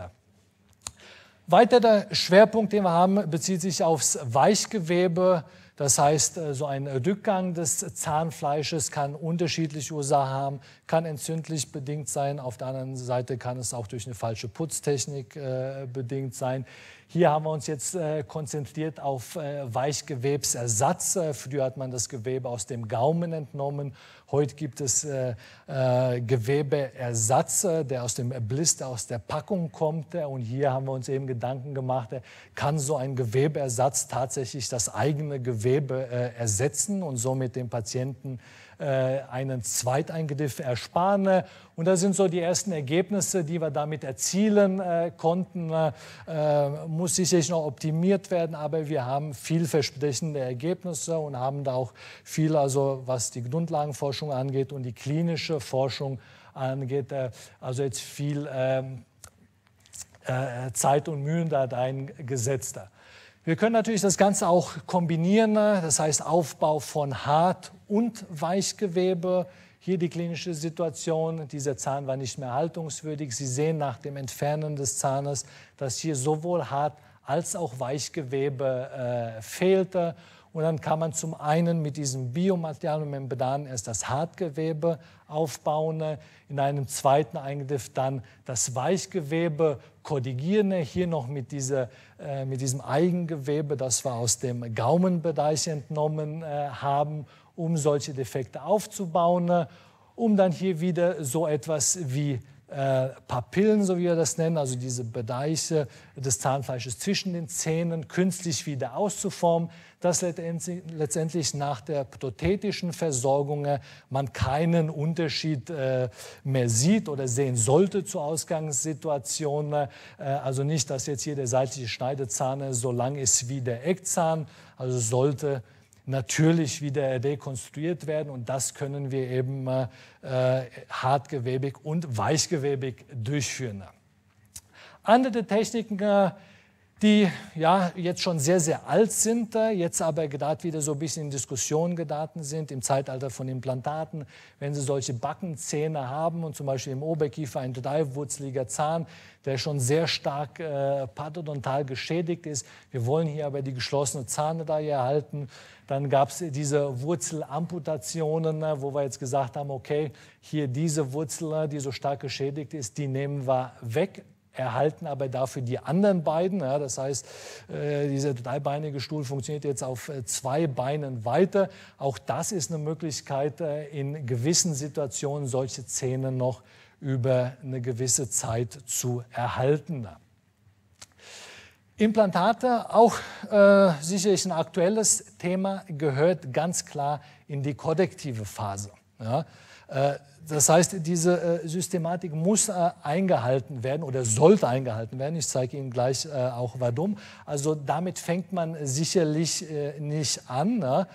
Ähm, das ist ein gutes Hilfsmittel, aber gehört ganz klar in die korrektive Phase. Und dann können wir eben hier, wo es nicht mehr ginge, auch wirklich wieder äh, so eine einseitig verkürzte Zahnreihe wiederherstellen. Sie sehen auch hier wieder mit Knochenaufbau das Ganze prothetisch ähm, abschließend äh, versorgte. Ist auch eine Alternative. Ich zeige Ihnen aber gleich, dass es kein Allheilmittel ist. Zwei Punkte, äh, die ganz, ganz wichtig äh, sind, äh, und da brauchen wir immer die Mitarbeit des Patienten. Zum einen ist die Plaque-Kontrolle, zum anderen das Rauchen. Wenn die Plaque-Kontrolle nicht funktioniert, auch die Mitarbeit, die Motivation, ne, dann können Sie diese ganzen Techniken nicht einsetzen. Ja, dann macht es wirklich von vorne dann keinen Sinn und Sie können eigentlich gleich sagen, wir schenken uns das Ganze und entfernen die Zähne. Genauso ist es beim Rauchen. Ja. Je, je, alles, was Sie gesehen haben, angefangen von dieser Hygienephase über die Wurzeloberflächenbearbeitung, über diese ganzen OPs, ist bei Rauchern deutlich schlechter als beim Nichtraucher. Es bedeutet nicht, dass wir den Raucher jetzt nicht therapieren, aber die Ergebnisse sind wirklich deutlich schlechter. Und natürlich auch hier können Sie sich vorstellen, äh, wenn der Patient die Mundhygienegewohnheiten nicht ändert, äh, dann ist das Ganze zum Scheitern verurteilt. Dann natürlich Implantate. Äh, möchte noch mal kurz darauf eingehen für diejenigen, die sich denken, okay, gut, wenn ich die Zähne verliere, ist kein Problem. Ich habe Implantate, kann mir die alle ersetzen lassen, ist doch ganz äh, einfacher. So wie hier wie in diesem äh, Fall, das ist ein stark parodontal geschädigtes Gebiss gewesen, da sind zwei Zähne verloren gegangen, die wurden durch zwei Implantate äh, versorgt. Ähm, auf der anderen Seite möchte ich Ihnen hier einen äh, Fall zeigen. Sie sehen äh, diesen ähm, Patient, Patientin, ne? Und äh, diese Aufnahme ist jetzt sehr, sehr schlecht, äh, weil die eingescannt wurde und die Qualität war auch wirklich äh, miserabel. Aber was Sie sehen hier, dass das wirklich ein sehr stark geschädigt, äh, parodontal geschädigtes Gebiss ist. Also teilweise hier Entzündung bis in den Bereich der Wurzelspitze. Und das Vorgehen des Zahnarztes sah so aus, dass er erst zwei Zähne hier entfernt hat, zwei Implantate gesetzt hat. Schauen Sie sich das an. Hier dieser Zahn, der hängt im Prinzip noch so äh, in etwas Entzündungsgewebe äh, drin. Die anderen sehen nicht viel besser aus. Das nächste Vorgehen war, die beiden Implantate zu versorgen, dann die nächsten Zähne zu ziehen, den nächsten Zahn zu ziehen und äh, vorgesehen waren hier jetzt die nächsten Implantate, hier die Implantate und dann sagte schon die Patientin, hm, das ist ein bisschen auffällig, also keine Art der Prophylaxe, keine Vorbehandlung, gar nichts. Also genau äh, das falsche Vorgehen, also das Ganze bis zu dieser kollektiven Phase wurde äh, übersprungen und äh, man ist, hat damit angefangen. Also man muss wissen, dass Parodontitis ist keine Titanmangelerkrankung, ja, sondern es ist eine Infektionserkrankung, die auch behandelt werden muss. Und das ist sicherlich auch diese, ich sage so Salamitaktik, ja, so scheibchenweise, das ist nicht der richtige Weg. Und wir wissen heute, dass Patienten, die Implantate bekommen haben, wo die Ursache des Zahnverlustes eine chronische Parodontitis war, die haben deutlich niedrigere Erfolgsdaten und viel mehr biologische Komplikationen im Vergleich zu den Patienten, äh, die ihre Implantate bekommen haben als Folge von äh, Zahnverlust aus anderen Gründen, sprich äh, einen tief kardiös zerstörten Zahn. Und wenn ich jetzt über biologische Komplikationen spreche, dann meine ich so etwas bei den Implantaten. Ja.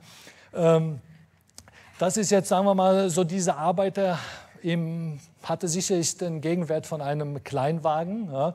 Sie sehen hier, dass äh, die ähm, Implantate alle verloren gehen werden, die ganze Konstruktion. Und die Frage ist, was äh, kommt danach? Wenn Sie sich jetzt das anschauen, dann können Sie sich auch ungefähr vorstellen, wie dieser Patient aussah, als er noch seine Zähne hatte. Das heißt, auf der einen Seite hat er sein Mundhygieneverhalten überhaupt nicht geändert. Derjenige, der ihn behandelt hat, hat sich auch nicht viel Mühe gegeben, dieses Verhalten zu ändern. Auf der anderen Seite ist natürlich die Würze der Aktivität, das heißt die Empfänglichkeit des äh, Patienten für Entzündung, ist die gleiche geblieben. Die hat sich nicht äh, dadurch geändert, dass die Zähne weg sind, die Implantate da sind. Das heißt, man muss hier äh, vorsichtig sein. Und wenn mal so ein Titanimplantat mal exponiert ist, diese Daun-Oberflächen, die sind gut, damit der Knochen ne, gut heilt und sich äh, innig an das Implantat anlagert. Wenn aber mal so eine Fläche ähm, exponiert ist, dann ist das für die Bakterien wie, wie eine Schweizer. Ja, die fühlen sich da sehr, sehr wohl auf diesen äh, äh Daun-texturierten Oberflächen. Und äh, es ist die Frage, ob man solche Flächen heute überhaupt wieder säubern kann. Der andere Punkt, äh, warum äh, diese höheren Misserfolgsdaten von Implantaten an Parodontitis-Patienten. Wir wissen heute, dass hier von solch einer äh, rezidivierenden oder residualen Tasche, das heißt, wir nehmen an, hier ist so eine Zahnfleischtasche übrig geblieben. In dieser Tasche haben wir diese äh, Bakterien, die in diesem dentalen Biofilm organisiert äh, sind und die haben die Fähigkeit, auch andere unbehandelte äh, Zähne zu besiedeln. Und genauso kann von dieser Tasche auch unser Implantat besiedelt werden, ja, der Bereich um das Implantat. Und dann kann es zu solchen Fällen kommen. Also äh, bedenken Sie, dass die Implantate äh, äh, nicht äh, unkritisch eingesetzt äh, werden sollten. Und deshalb wundere ich mich immer, wenn ich diese Befunde sehe, sehr aufwendige, teure Arbeiten, zum Beispiel im Oberkiefer und dann hier unten die ganze Unterkiefer, Front, total geschädigt mit äh, Zahnfleisch, Taschen- und Knochenabbau bis in den Bereich äh, der Wurzelspitze oder die Implantate direkt neben solch einen äh, parodontalen Knochendefekt äh, gesetzt. Also äh, auch das äh, ist äh, nicht von Vorteil oder in demselben Kiefer solche tiefen vertikalen Knochendefekte. Das ist sicherlich nicht von Vorteil. Auf der anderen Seite frage ich mich immer, dass der Operateur, wenn er die Implantate setzte und hat den Patienten nicht parodontal vorbehandelt, dann packt er sich immer ein wie so ein dünnes Maßmännchen, er achtet auf ein steriles OP-Feld. Ja. Auf der anderen Seite haben sie sowas in der Mundhöhle. Ja. Da ist nichts mit äh, Sterilität da. Ja. Also da können sie sich eigentlich auch das äh, hier schenken. Ja.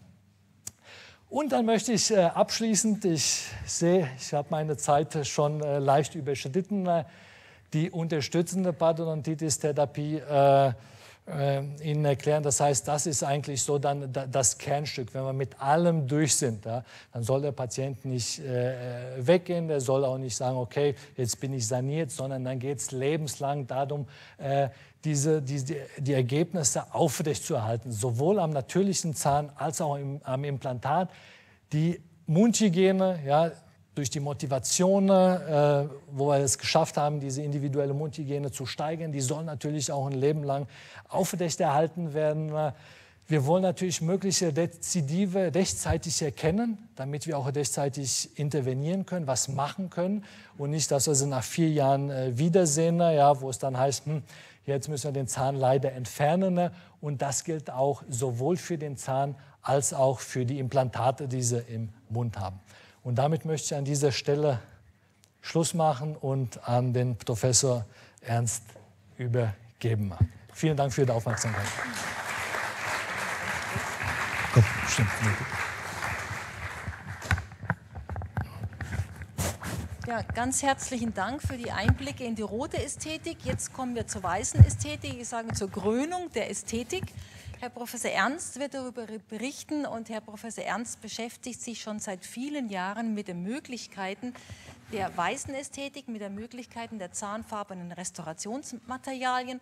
Das haben wir schon in der Münchner Zeit gemeinsam gemacht und ich war auch sehr dankbar, dass Herr Professor Ernst dann mitgegangen ist nach Mainz und er wird jetzt die Möglichkeiten zeigen anhand von vielen Beispielen und auch wissenschaftliche Studien. Danke. Ich habe danke. Ja, vielen Dank auch, Professor Junge, dass wir hier vortragen dürfen. Als meine Chefin gesagt hat, Mensch, MGM hat angerufen, die wollen Vortrag bei uns. Ich Mensch, Metro Goldie Meyer. Nein, die Medizinische Gesellschaft Mainz. War mal froh, wir müssen nicht so weit weg. Ist auch schön, mal in Mainz einen Vortrag halten zu können, wo man dann halbe Stunde nach der Veranstaltung dann auch zu Hause ist. Das macht richtig Spaß und freut mich auch zu so später Stunde, dass so viele Leute hier versammelt sind. Ja, es geht so um Alternativen zu Kronen. So im Endeffekt so schlussendlich um die banale Kunststofffüllung, wie sie immer so schön benannt wird. Natürlich auch eingepackt in ein restauratives Konzept, das so sich aus drei Säulen zusammensetzt. Das ist zum einen ist es der Behandler, es ist das Material, mit dem wir arbeiten und es ist natürlich der Patient.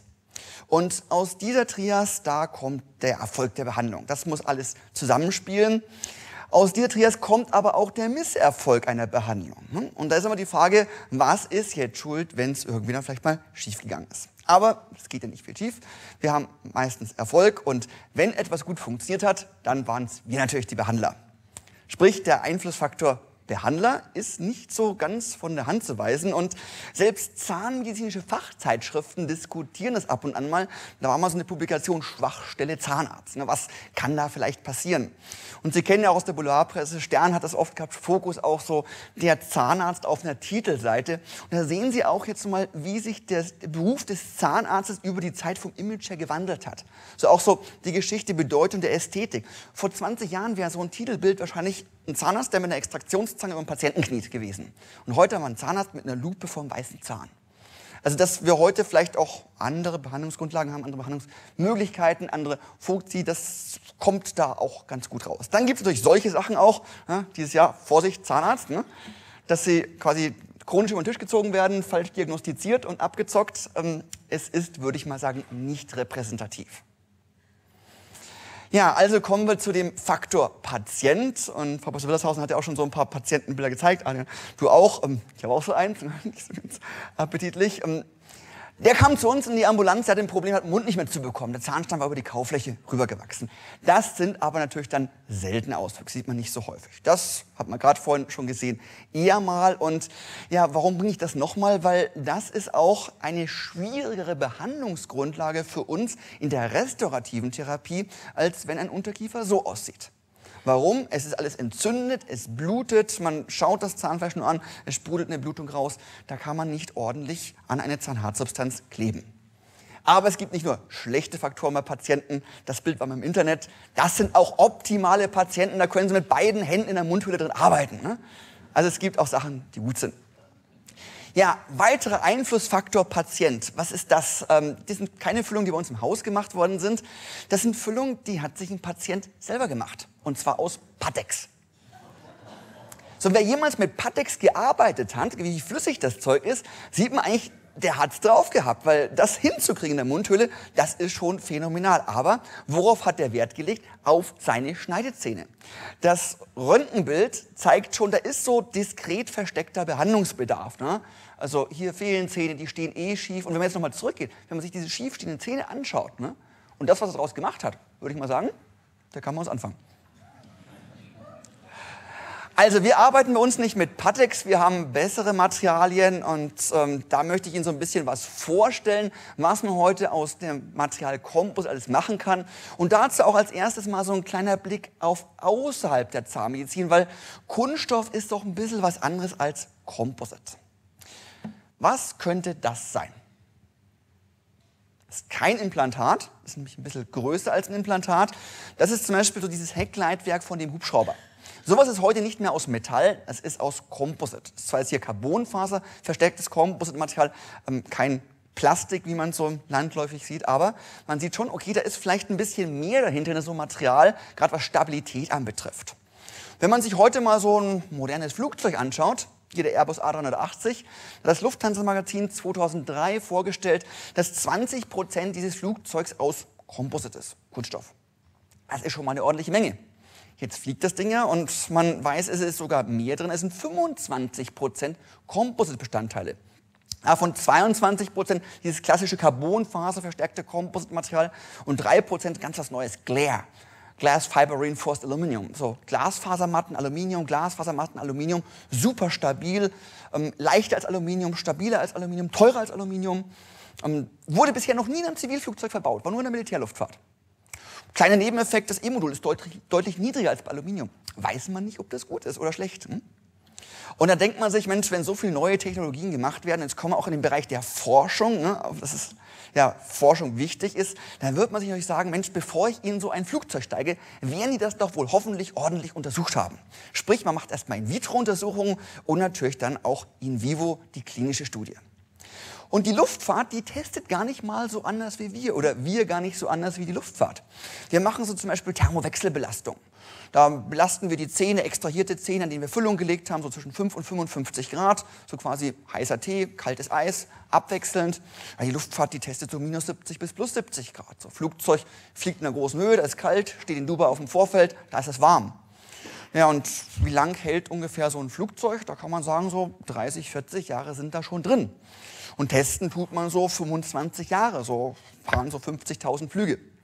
Dann kann man jetzt natürlich dann gemeinerweise sagen, jetzt kommen wir Zahnmediziner und freuen uns, wenn eine Kunststofffüllung, die so groß ist, an einem unteren Backenzahn zehn Jahre lang hält.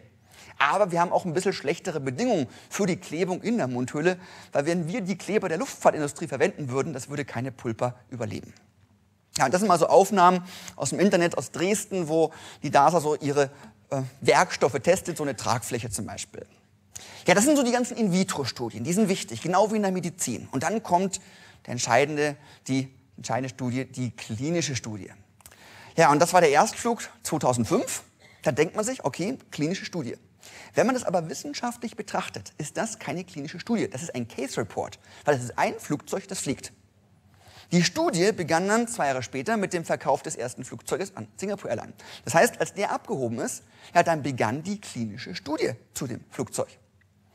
Ja, und heute weiß man so, wenn man so auf der Homepage guckt, so 67 Flugzeuge sind inzwischen verkauft, die fliegen. Drei Jahresdaten hat man quasi, vier Jahresdaten Erhebung, die passiert. Und es gibt in der Zahnmedizin für die Evaluation von Füllung, von Restaurationsmaterialien so klinische Kriterien. Alpha, Bravo, Charlie, Delta. Alpha und Bravo ist gut, Charlie und Delta ist schlecht. Also Alpha ist exzellent, Bravo ist in Ordnung, Charlie ist, da ist was kaputt, aber keine Katastrophe und Delta wäre praktisch ein Totalversagen. Jetzt hat man aber auch hier bei so einem modernen Flugzeug eine sogenannte Charlie-Bewertung. Das war 2010, als so ein Qantas A380 in Singapur gestartet ist. Dann hat es ein Triebwerk zerrissen und dann ist einfach so ein Metallstück durch die Tragfläche gerauscht. Und man sieht schon, hier ist was ordentlich kaputt, aber es ist kein Totalverlust. Ja, was zeigt uns das als Überleitung zur Notwendigkeit der medizinischen Forschung, auch in der, der zahnmedizinischen Forschung, der klinischen Forschung? Man sieht erst im Endeffekt im Gebrauch, ob etwas wirklich funktioniert, ob alle Teile zusammenspielen. Es war jetzt hier nicht das Komposit in der Struktur das Problem, das war eine andere Sache aus dem Triebwerk. Und deswegen ist die klinische Forschung auch in der Zahnmedizin für so etwas Banales, auch wie eine Kunststofffüllung, wichtig. Und das wird heute auch sehr detailliert gemacht. Wir haben da die unterschiedlichsten Kriterien. Das sind zum Beispiel unsere klinischen ja, Evaluationskriterienbögen. Das Ganze kriegt man gar nicht auf eine Seite. Das sind drei Bögen, 15 verschiedene Kriterien, nach denen solche Materialien bewertet werden. Biologische, aber auch ästhetische, funktionelle. Und dann kommt dann im Endeffekt eine Schlussfolgerung, ob etwas funktioniert oder nicht. Solche Studien gibt es sehr viele. Und man schaut sich bei solchen Studien heute die jährliche Verlustrate an. Weil die Studien laufen unterschiedliche Zeiträume. Und wenn Sie jetzt eine Studie haben, da haben Sie einen Erfolg von 80 Prozent, eine andere Studie hat nur einen Erfolg von 50 Prozent, dann fragt man sich, was ist der Unterschied? Der Unterschied ist oft die Beobachtungszeitdauer der Restauration. Und deswegen ermittelt man heute aus den ganzen klinischen Studien die jährliche Misserfolgsrate, also die jährliche Verlustrate. Und bei uns bei der restaurativen Therapie wäre es praktisch der Füllungsverlust, das Füllungsversagen, wenn eine Reintervention notwendig ist. Und da gibt es so eine magische Grenze, das ist so 2,5 Prozent pro Jahr. Das heißt, wenn von 100 Füllungen, die ich lege, nach 10 Jahren 25 kaputt sind, ist das in Ordnung. Das machen andere dann auch nicht besser und ist akzeptiert. Das heißt aber auch wiederum, dass 75 Prozent der Restauration länger halten als 10 Jahre. Und das ist dann eigentlich schon mal eine ganz gute Zeit. Und naja, wenn man das jetzt in die Medizin überträgt, kann man es natürlich auch unterschiedlich sehen. Wenn, wenn man sagt, okay, wenn nach 10 Jahren 25 Prozent meiner Patienten tot sind, nach Therapiebeginn, ist es ungünstig. Kommt dann natürlich auch wieder auf den Fachbereich an. Für die Onkologie ist in manchen Bereichen wäre es ein super Erfolg. In der HNO wäre es vielleicht eher äh, nicht so gut fürs Image. Ja, wie es, liegt es jetzt bei unseren Restaurationsmaterialien? Gerade das Material, mit dem wir uns hauptsächlich beschäftigen, Kompos und Keramik, liegt sehr gut. Und Composite liegt so ein bisschen besser als Amalgam und klein bisschen oberhalb von der Keramik. Also ist mit einer mittleren jährlichen Verlustrate von 2,2 Prozent aus einer großen Meta-Analyse von ganz vielen klinischen Studien eigentlich ganz ordentlich. Kein großer Abstand zur Keramik, die ist also nicht unbedingt immer besser. Eins muss man hier aber auch kritisch beachten. Es ist auch anzunehmen, dass hier eher kleinere Kompositrestaurationen, zum Beispiel größere Keramikrestaurationen auch natürlich in den Studien drin waren. Aber das gibt so eine Benchmark. Und mal so weitere auch Beispiele zu jährlichen Verlustraten. Retrospektive Studien sind zwar jetzt nicht der hohe Evidenzgrad wie eine klinisch prospektive Studie, geben aber sehr viele wissenschaftliche Anhaltspunkte. Und die retrospektiven Studien, die punkten primär mit den langen Beobachtungszeiten. Und hier so 17 Jahre ist eine ordentliche Zeit. Und hier kann man auf eine jährliche Verlustrate von 2% pro Jahr in einem Peer-Reviewed Journal publiziert. Die Studie wurde weiterverfolgt, es sind 22 Jahresergebnisse inzwischen vorgestellt, allerdings nur auf dem Abstract auf dem Kongress. Und da blieb es auch bei den 2% pro Jahr. Eine andere sehr interessante retrospektive Studie, wo man 1200 Amalgamfüllungen und über 700 Composite-Füllungen miteinander verglichen hat. Und dort ist diese Annual Failure Rate, also die jährliche Verlustrate, ungefähr gleich, tendenziell das Composite sogar etwas besser. Was auch sehr interessant war, hier hat man zwei Untergruppen gebildet, Patienten mit einem hohen KS-Risiko, Patienten mit einem niedrigen KS-Risiko.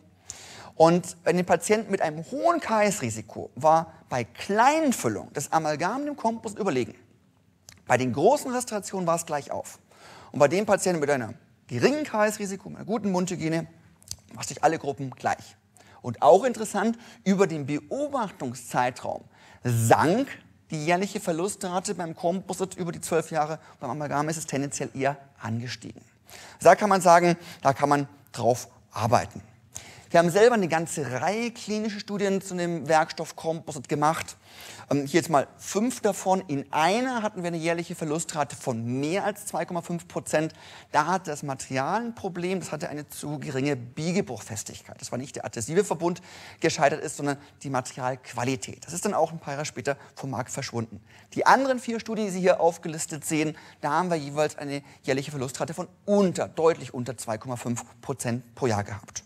Das sind mal so Beispiele, wo Sie auch sehen, das sind jetzt nicht nur die ganz, ganz kleinen, minimalinvasiven Restaurationen, das ist eine Standardgröße. Das war eine Studie, die lief über zwei Jahre und den Zahn aus dieser Studie, den habe ich auch mal nach einer längeren Zeit gesehen. Je nach acht Jahren sieht er eigentlich noch ganz ordentlich aus. Was machen wir gerade aktuell? Eine neue Anwendungsbeobachtung. Die Materialkunde entwickelt sich. Es kommen sehr viele technische Aspekte rein.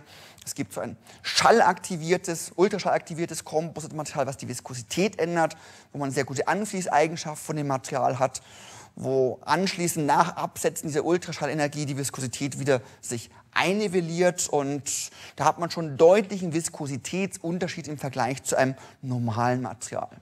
Das ist mal so ein klinisches Beispiel, das gerade aus dieser laufenden Studie. Wir machen das immer im Split-Mouse-Design, das heißt, ein Patient kriegt zwei Füllungen, eine mit einem konventionellen Vergleichsmaterial, mit demselben Kleber und die, ein anderer Zahn mit dem neuen Material versorgt. Und das wird dokumentiert und dann so von unabhängigen Untersuchern bei den nächsten zwei Jahren nachuntersucht. Ja, also das mal so zum aktuellen Forschungsvorhaben, was wir so machen, die Bedeutung der klinischen Forschung. Und jetzt vielleicht das, ich meine, viele von Ihnen sind ja Patienten, wie ich so mitbekommen habe vom Professor Junginger, die vielleicht so eher auch das interessiert, was kann man jetzt daraus machen. Deswegen möchte ich das mal so ein bisschen differenzieren, so nach Restaurationsmaßnahmen, die man vielleicht macht, wenn gar keine Zahnarztsubstanz fehlt, wenn wenig Zahnarztsubstanz fehlt, wenn ein bisschen mehr Zahnarztsubstanz fehlt, wenn viel Zahnarztsubstanz fehlt oder wenn richtig viel Zahnarztsubstanz fehlt. Und das dann so ein bisschen auch aufgedröselt nach Indikation, Umsetzungsmöglichkeiten von uns als Zahnmedizinern und der Prognose des Ganzen. Fangen wir mit dem an, wenn gar keine Zahnhartsubstanz fehlt. Hat das eine Indikation? Ja, man findet Indikation. Umsetzung ist da eigentlich immer ganz gut. Man kommt meistens gut an die Klebeflächen ran. Man hat auch meistens Patienten mit einer sehr guten Mundhygiene, wenn gar keine Defekte vorhanden sind. Und deswegen hat man auch eine gute Prognose das Ganze auch mal differenziert Seitenzahnbereich, Frontzahnbereich, dann fragen Sie sich vielleicht, wo gibt es Behandlungsindikationen im Seitenzahnbereich, wenn gar keine Zahnhartsubstanz fehlt. So eine Geschichte zum Beispiel. Das ist nach einer Zustand nach einer missglückten kieferorthopädischen Behandlung, nicht bei uns im Haus. Ähm, ich meine, wenn einer dieser beiden Prämolaren schon fehlt, warum zieht der Kieferorthopäde auch noch den zweiten? Jetzt haben wir hier den ersten Backenzahn direkt neben dem Eckzahn stehen. Die Lücke ist zu eng für ein Implantat, zu eng für ein Brückenzwischenglied. Die Patientin, ein Mädel mit 15 Jahren, ist totunglücklich, weil man das sieht. Dann war halt die Frage, ja, was kann man machen? Kann man da vielleicht ein bisschen Kunststoff ankleben? Das geht von der Klebetechnik, ist aber eher ein Problem von der kohäsiven Materialstabilität. Und da helfen uns halt auch die Entwicklung der letzten Jahre in der Materialforschung, dass diese Komposite deutlich stabiler geworden sind. Das heißt, hier können wir eine Biegebruchstabilität gewährleisten, wo man sowas wagen kann. Das ist keine Standardtherapie, das ist schon sehr experimentell. Das ist das Bild nach drei Monaten. Die Situation nach zwei Jahren. Zwei Jahre ist jetzt nicht so unbedingt die ganz große Zeit, aber es hat zumindest mal die Zeit ordentlich gehalten. Und wenn man jetzt so die Patientin von vorne betrachtet, springt diese Lücke nicht mehr so optisch richtig ins Auge. Es ist ein gewisser Kompromiss, den man hier eingeht, aber ein vertretbarer und vor allem der große Vorteil, wir haben keine weitere Schaden an den Zahnarsubstanz gesetzt, indem wir hier eine große Präparation gemacht haben. Das kennen vielleicht auch viele, so eine diskrete Lücke im Frontzahnbereich. Für den einen ist es ein Markenzeichen, den anderen stört es. Das ist persönliche Geschmackssache. Ja, was kann man hier jetzt machen? Man kann natürlich so einen Zahn beschleifen und eine Krone draufsetzen. Man kann ihn auch etwas weniger beschleifen und eine Keramikverblendschale, ein Vinier draufkleben. Das ist eine tolle Therapiemöglichkeit, wenn man viele Befunde hat, die man ändern möchte. Also zum Beispiel sehr viele labiale Defekte, Außenzahndefekte. Ich will vielleicht noch einen Zahn verlängern oder optisch derotieren. Aber wenn der Zahn jungfräulich, hübsch aussieht, hier kleine Frakturlinie, dann tut das weh, so einen Zahn zu beschleifen. Deswegen raut man die Klebefläche ganz leicht an und ergänzt das mit Kompositmaterial. Erst den einen Zahn, dann baut man den Nachbarzahn gegen, dann ist die Lücke auch zu. Das kostet deutlich weniger als ein Vinier und zwar Geld des Patienten und Zahnhartsubstanz. Patient hat so ein bisschen Zungendruck, so nach ein paar Monaten hat sich durch den Zungendruck die Zähne so ein bisschen aufgefächert, also hat sich nichts abradiert, abgenutzt zwischen die Zähne. Das ist einfach durch den Zungendruck hat sich ein bisschen erweitert, weil sie hätte eigentlich einen Retainer kieferorthopädisch geklebt bekommen sollen und das wollte sie dann nicht mehr. Anderes Beispiel, so kleine Lücken, die nicht unbedingt stören, viele Patienten aber durchaus stören. Und da kann man jetzt mit kleinen Anbauten hier durchaus was machen. Und das sind jetzt so Indikationen, wo keine Zahnhartsubstanz fehlt. Es gibt aber natürlich Defekte, da fehlt ein bisschen Zahnhartsubstanz. Da ist natürlich die Indikation für eine direkte Füllungstherapie, weil das minimalinvasiv ist. Nichts ist weniger substanzfordernd als die direkte Restauration. Bei der indirekten Restauration brauche ich immer einen Zugang, ne, um ein Werkstück einsetzen zu können. Die Umsetzung, da ist jetzt hier nicht mehr der Smiley drin, weil je kleiner ein Defekt ist, desto mehr muss ich unterminierend arbeiten, desto erschwerter ist der Einblick, die visuelle Kontrolle, desto schwieriger ist das Umsetzen. Man muss öfters absetzen, nachschauen und deswegen dauert eine kleine Restauration oftmals länger als eine große. Wenn es aber dann geklappt hat, ist die Prognose gerade bei dem minimalinvasiven Vorgehen sehr gut. Ja, und die Zahnmediziner unter Ihnen werden ihn kennen, Dr. Black, der, einer der Begründer der zahnmedizinischen Lehre und da galt damals so diese Extension for Prevention. Man hat prophylaktisch mal ein Loch groß gemacht, dass man überall gut rangekommen ist und auch alles gut kontrollieren konnte. Den Satz drehen wir heute einfach um, machen daraus die Prevention of Extension, vermeiden das also, also Black ist weg, können wir heute sagen, in der adhesiven Zahnheilkunde. Und so sehen auch heute Präparationsinstrumente aus, so wirklich die ein unterminierendes Arbeiten ermöglichen, die einen schmalen Schaft haben für einen grazilen, grazilen Zugang. Und da kann man halt gerade so eine Primärläsion, wie Sie es hier sehen, jetzt nicht mit einem Inlay oder sowas versorgen, sondern mit einer direkten Restauration. Weil fairerweise müssen wir sagen, nichts, was wir machen, hält ewig. Jede Restauration wird irgendwann mal ausgetauscht werden. Und bei jedem Austausch muss ich etwas mehr Zahnhartsubstanz entfernen. Ja, und deswegen sollte halt die erste Restauration, die erste Kavität, die man präpariert, möglichst klein sein. Weiteres Beispiel, auch hier gar nicht mal so wenig an KSA proximal. Trotzdem sind es für uns kleine Löcher. Und Sie sehen so von dem Behandlungsablauf, es sind so einige Verfahrensschritte, die hier ablaufen bei der Klebung. Ich brauche ein kontaminationsfreies Arbeitsfeld. Ich muss verschiedene Kleber, Adhesive verwenden. Das Ganze wird lichtgehärtet. Ich benutze Komposite mit einer unterschiedlichen Viskosität, dünn fließende, festere Materialien. Und dann haben wir anschließend den Zahn so restauriert, dass nicht allzu viel Zahnhartsubstanz für den Zugang geopfert werden musste. Ja, und auch dieses Fallbeispiel hat auch unsere wissenschaftliche Muttergesellschaft, die DGZMK, für ihre Richtlinien genommen, so als Dekorationsfall, was auch damals in der ZM publiziert wurde. Auch das hier sieht jetzt unspektakulär aus. Da ist ein bisschen Defekt, hier ist ein bisschen Defekt, hier ist ein kleiner Defekt. So mehr oder weniger drei Stellen, aber in einem Bereich, der ungünstig ist. Weil hier läuft der Restaurationsrand genau durch einen Kontaktbereich. Hat man früher gesagt, dann macht man prophylaktisch dort mal die Krone. Den Weg gehen wir heute nicht mehr. Auch hier wagen wir den direkten Zugang. Die Materialien sind heute deutlich biegebruchstabiler. Das heißt, wir können auch gegebenenfalls mal im Kontaktbereich eine Restauration enden lassen. Ähm, das hat durchaus auch eine gute Prognose. Und man muss immer überlegen, was passiert oder welche Katastrophe würde passieren, wenn es denn doch versagt die Restauration würde hier kaputt gehen. Dann kann ich in 10 oder 15 Jahren immer noch mal an die Krone denken. Hier nochmal bei einer weiteren Nachkontrolle.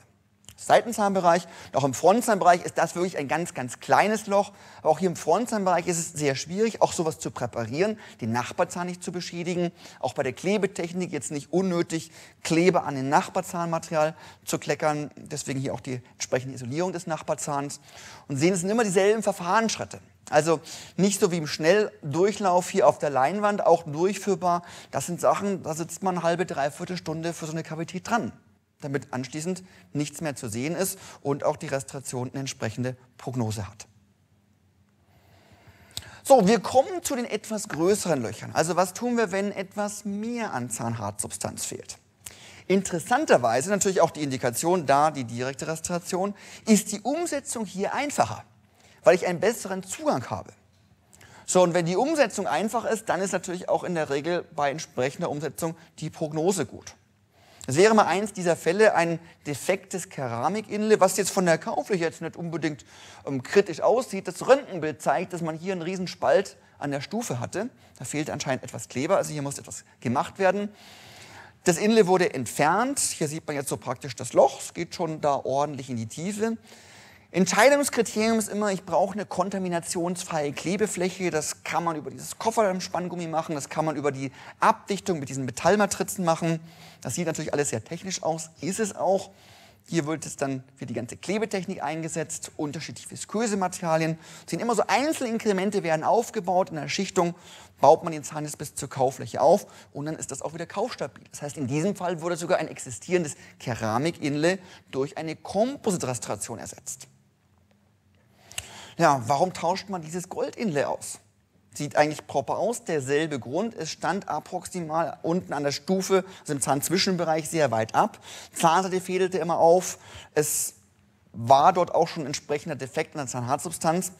Und für viele Patienten, leider Gottes, ist heute immer die oberste Prämisse, es muss zahnfarben sein, während der Golden Standard immer noch der Golden Standard ist. Das heißt, Gold-Inlays haben nach wie vor ihre Berechtigung oder Gold-Teilkronen.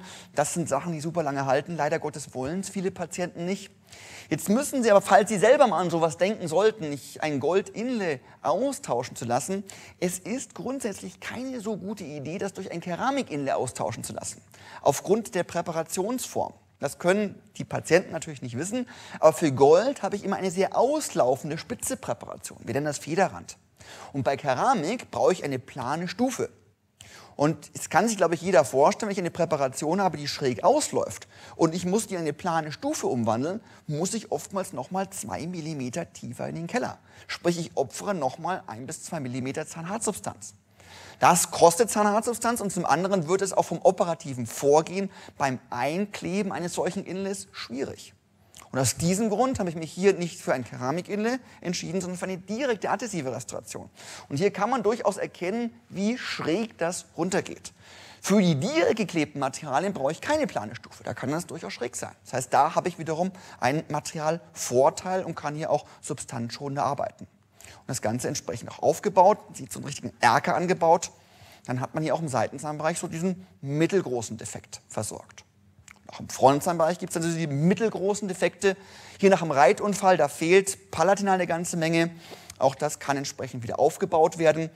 Hier kommt jetzt die Schichtung nicht nur aus funktionellen Gründen, zur Schrumpfkraftreduktion zum Tragen, ähm, sondern auch aus ästhetischen Gründen. Ich habe Zahnschmelz, ich habe Dentin, ich habe unterschiedliche Transluzenzen, Opazitäten. Das kann ich wiedergeben in meinen Füllungsmaterialien und deswegen wird es aufgeschichtet. Das ist natürlich ein ziemlicher Aufwand, dauert auch entsprechend. Dann hat man einen Zahn, der sich jetzt auch so von der Spitze bis zum Zahnarztbereich so eigentlich ganz gut wieder in die Mundhöhle einpasst, ohne Krone. Und so die klassische Zahnzwischenraumdefekte, hier Austausch von alten Füllungen, hm, auch das kriegt man ästhetisch hin.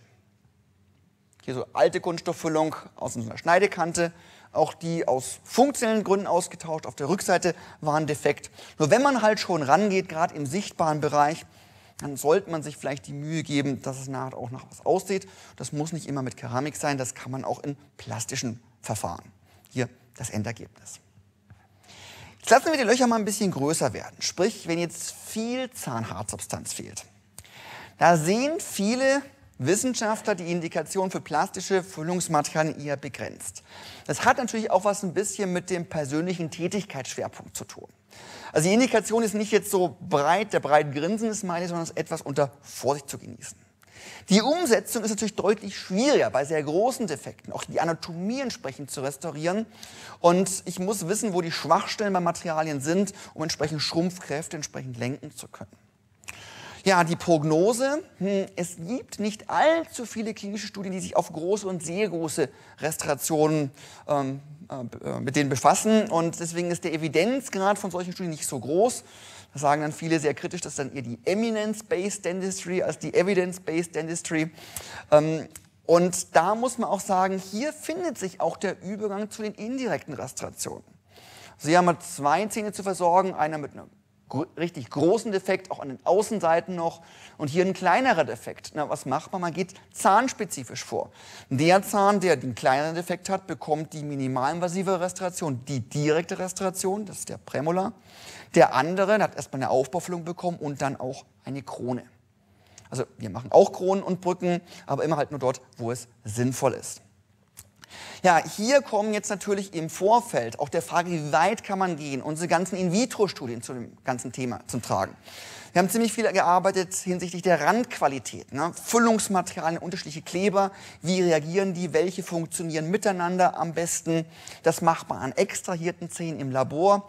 Da werden die Zähne dann auch entsprechend belastet, sei es eine Thermowechselbelastung, sei es eine Kaudrucksimulation, wo man so eine Art ein künstliches Gebiss hat, wo dann mal so ähm, 10 oder 100.000 Mal da drauf gekaut wird und dann schaut man sich unter dem Rasterelektronenmikroskop die Ränder an. Das ist ganz, ganz wichtig. Zusätzlich auch die Schrumpfungskräfte der Komposite, auch das war so ein Forschungsschwerpunkt der ganzen letzten Jahre, damit die Materialien halt stabiler in der Mundhülle bleiben können. Parallel dazu auch der Einfluss der Lichtpolarisation. Ja, und das wäre jetzt mal so ein Beispiel schon für einen größeren Defekt. Hier muss ich einen Höcker im Seitenzahnbereich ersetzen. Das ist eigentlich eine Indikation für eine Teilkrone. So, und jetzt kommt unser schönes gesetzliches Krankenversicherungssystem auch hier zum Tragen. Wenn ich bei einem gesetzlich versicherten Patienten eine Teilkrone hier anfertigen möchte, muss ich um das zu dürfen, alle vier Höcker einfassen. Was totaler Unsinn ist aus Zahnhartsubstanzschonungsgründen. Ich muss nur einen Höcker fassen. Naja, so eine Therapie gibt es gar nicht in der gesetzlichen Krankenversicherung. Deswegen ist es dann oftmals sinnvoller, man geht nicht den Weg der indirekten Technik, wo ich sehr viel Substanz opfern muss. Ich baue den Höcker hier aus Composite direkt auf. Das geht, das funktioniert. Das ist auch freigegeben von der Deutschen Gesellschaft für Zahnmund- und Kieferheilkunde. Für die Indikation von Kompositen ist der Ersatz einzelner Höcker drin.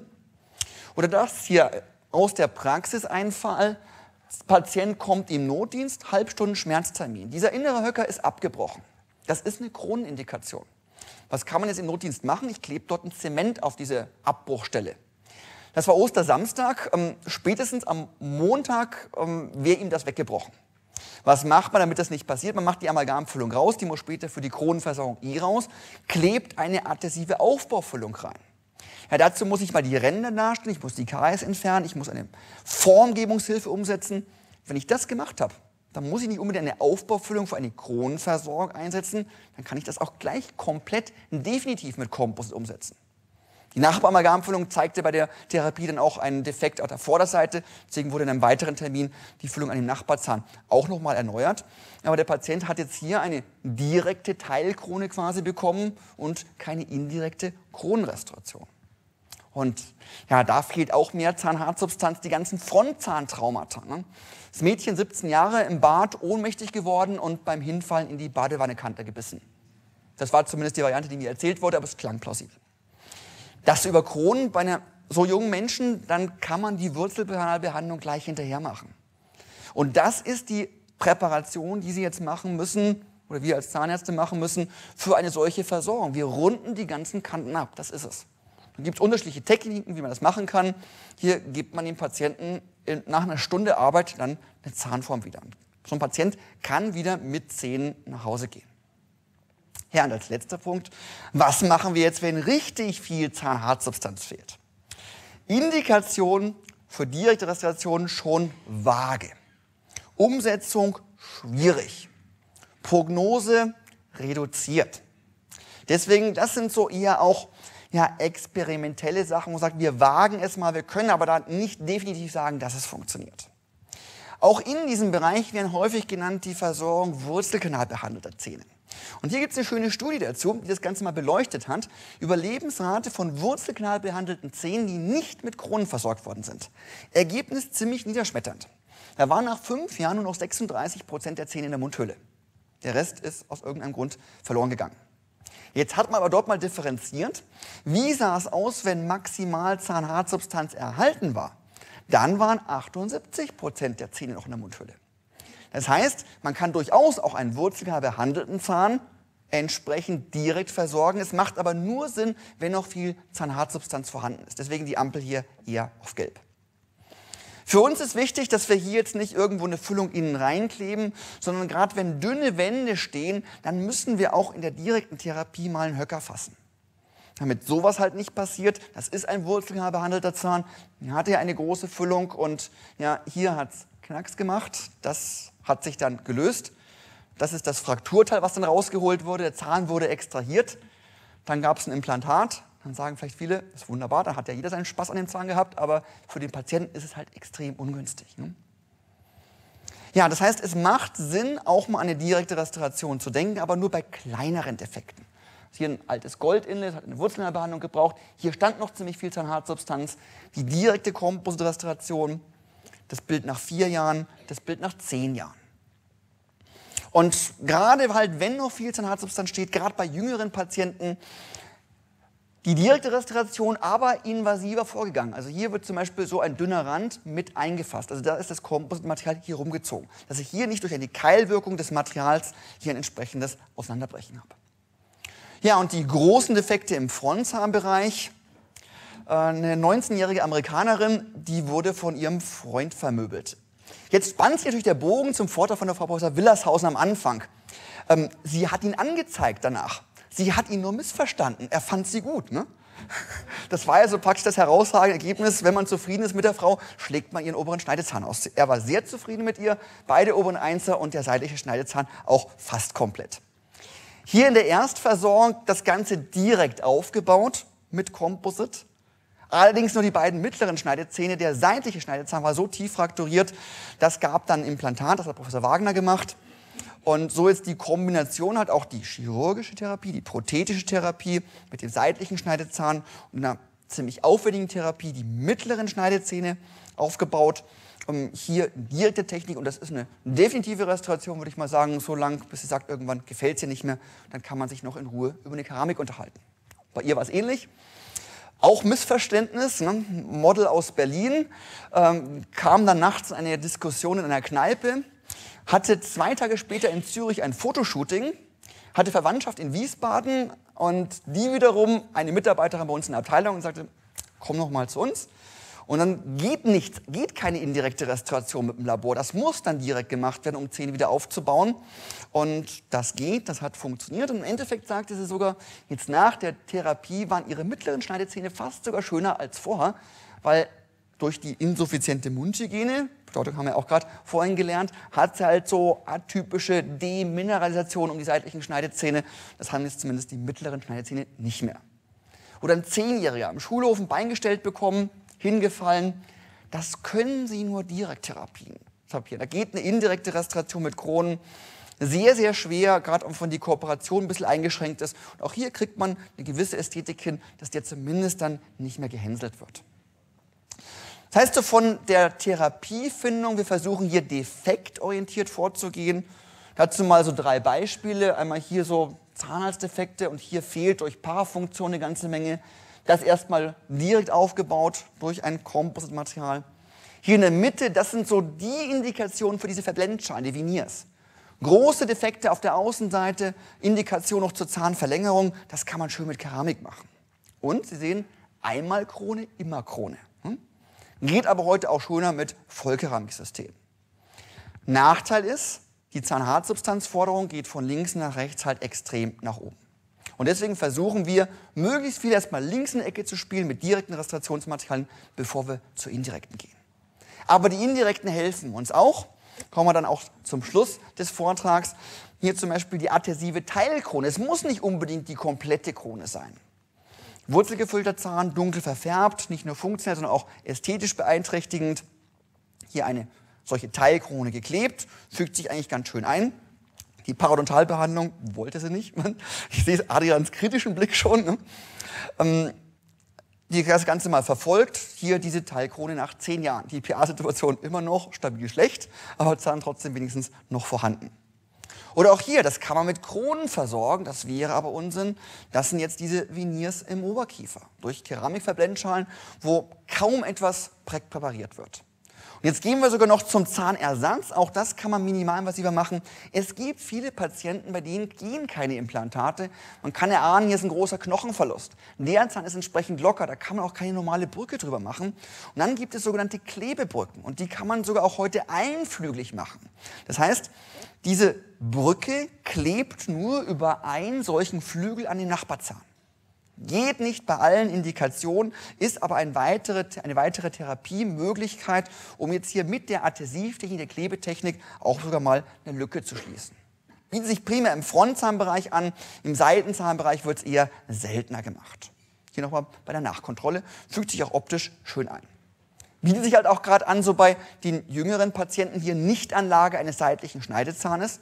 Das wird mit so einer Klebebrücke gelöst, weil mit 15 Jahren können Sie hier noch kein Implantat setzen. Ja, das sollte jetzt abschließend noch mal so ein kleiner Ausflug durch die Möglichkeiten der restaurativen Therapie sein. Damit bedanke ich mich auch für meinen Part und ich glaube, jetzt ist dann auch noch eine entsprechende Abschlussdiskussion vorgesehen, ne? wenn ich mich recht erinnere.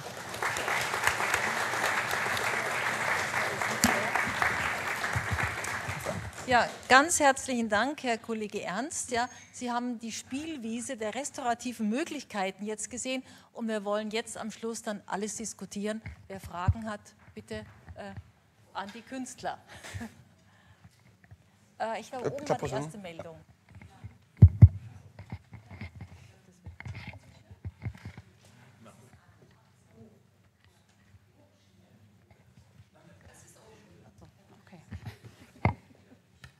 Laut. Sehr gut. Ähm,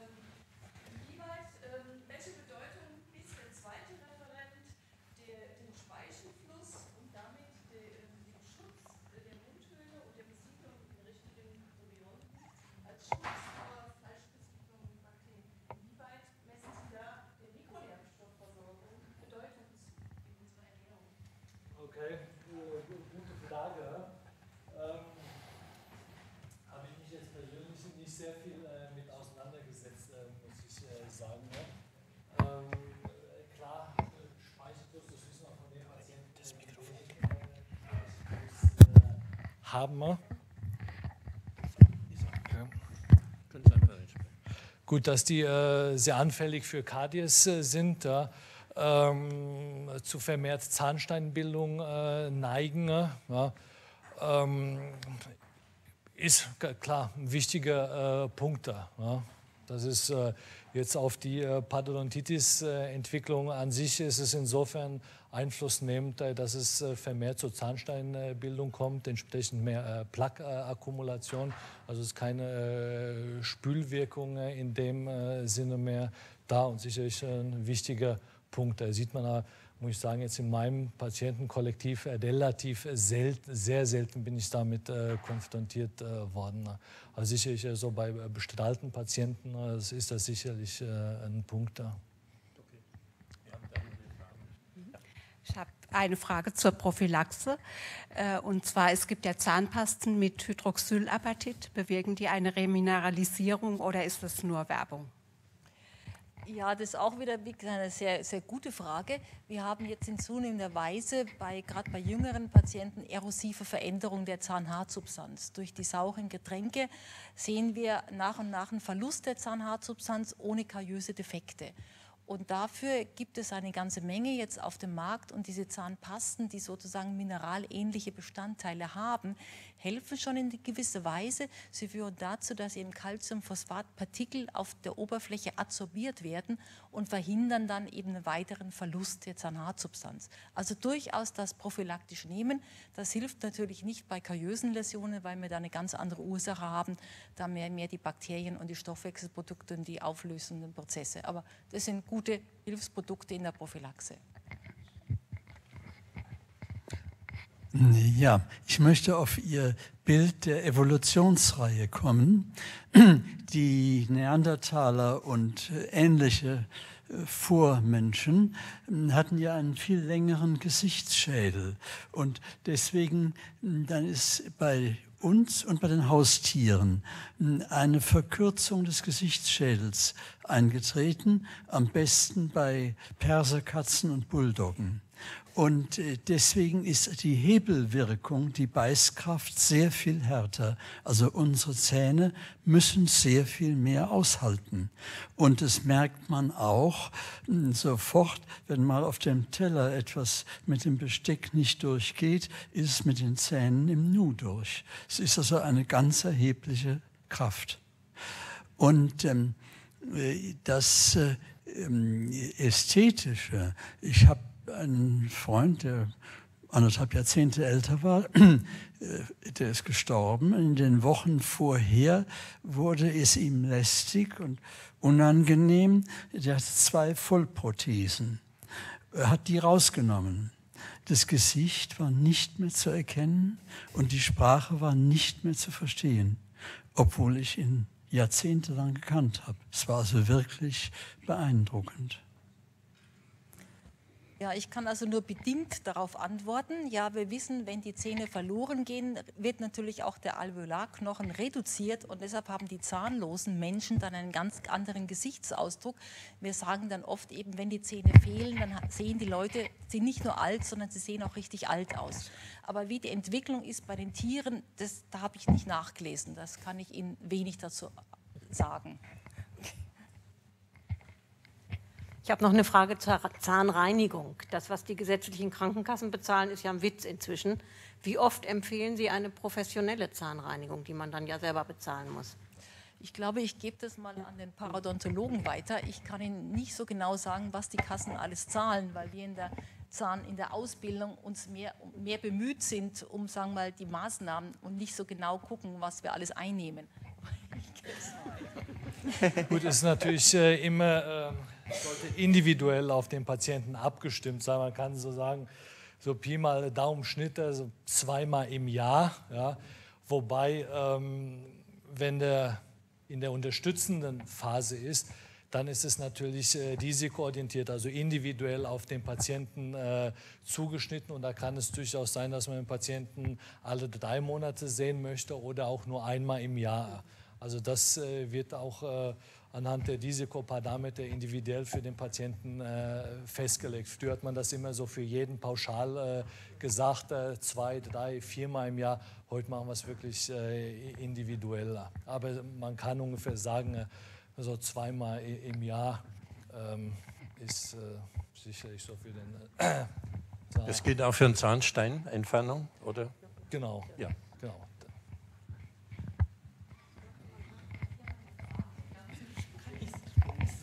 Genau. Ist, ist das von Rindern implantierte Knochenmark, was ja modifiziert wird, damit es nicht mehr äh, antigen reagiert, äh, hat es anschließend nach der Implantation denselben Härtegrad wie die ossäre Umgebung. Sie meinen das Knochenersatzmaterial ja, ja, ja, im Rahmen der Parodontologie, das muss ich auch weiter. Also der, der äh, Bovine, also Sie fragen nach dem Härtegrad. Äh, ja? Also jetzt dieser bovine Dinderknochen, den Sie da auch äh, gesehen haben, äh, der, der sorbiert sich sehr, sehr langsam. Ja? So in den peripheren Bereichen, ne, wir nennen das äh, Popcorn-Effekte, ähm, sehen wir die Partikel noch nach vielen Jahren. Ne? Und der Härtegrad ist aber sehr, sehr hoch. Ja? Also das wird, die, die werden äh, also ossär eingekapselt, diese äh, Partikel.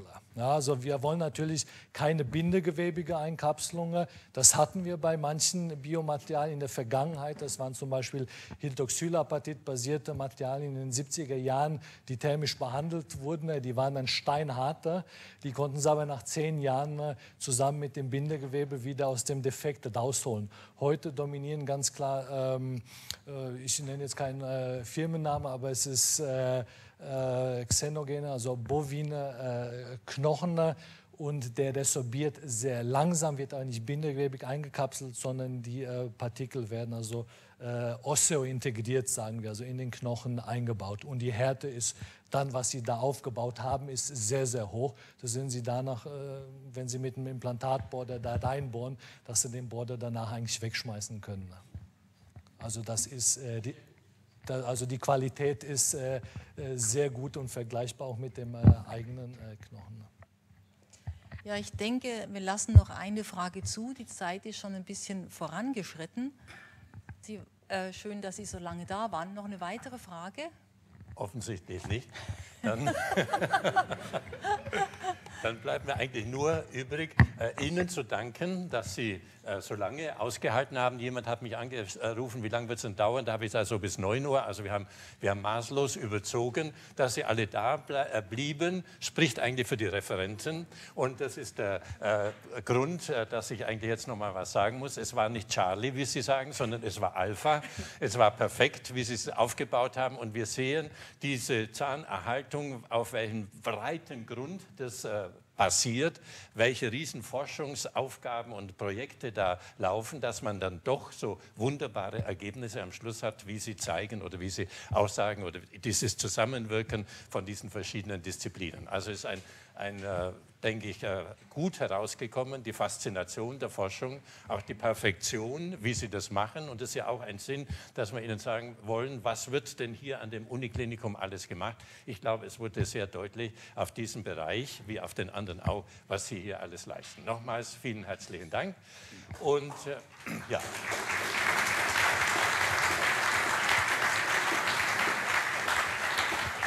Jetzt noch zwei Bemerkungen. Wenn Sie sagen, das war ja so viel, ich möchte es eigentlich nochmal nachhören. Sie können das nachhören und lesen. In ein paar Tagen ist es über die äh, Homepage der, der Medizinischen Gesellschaft und auch der Universitätsmedizin über YouTube äh, sind diese Vorträge aufgezeichnet. Eigentlich sehr schön, können Sie diese ganzen Folien nochmal nachsehen und nochmal nachlesen. Und wenn dann immer noch Fragen sind, dann stehen die Referenten Ihnen gerne zur Verfügung und klären die Frage nochmal.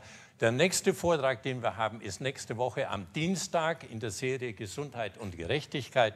Äh, es geht um die Rationierung. Kann Rationierung gerecht sein? Ist ja äh, sehr diskutiert, äh, wird sehr diskutiert. Sie haben ja ganz andere Richtung gerade vorgegeben und etwas gelacht dabei. Aber es wird schon so sein, dass wir uns das alles nicht mehr leisten können und eine gewisse Rationierung eintreten muss. Herr Professor Huster ist ein Jurist, der im Beirat der Bundesregierung für eine Priorisierung in der, der medizinischen Leistungen äh, tätig ist und er kann uns, denke ich, aus erster Hand sagen, was geplant ist und was wird, wie wird es weitergehen mit unserem Gesundheitssystem.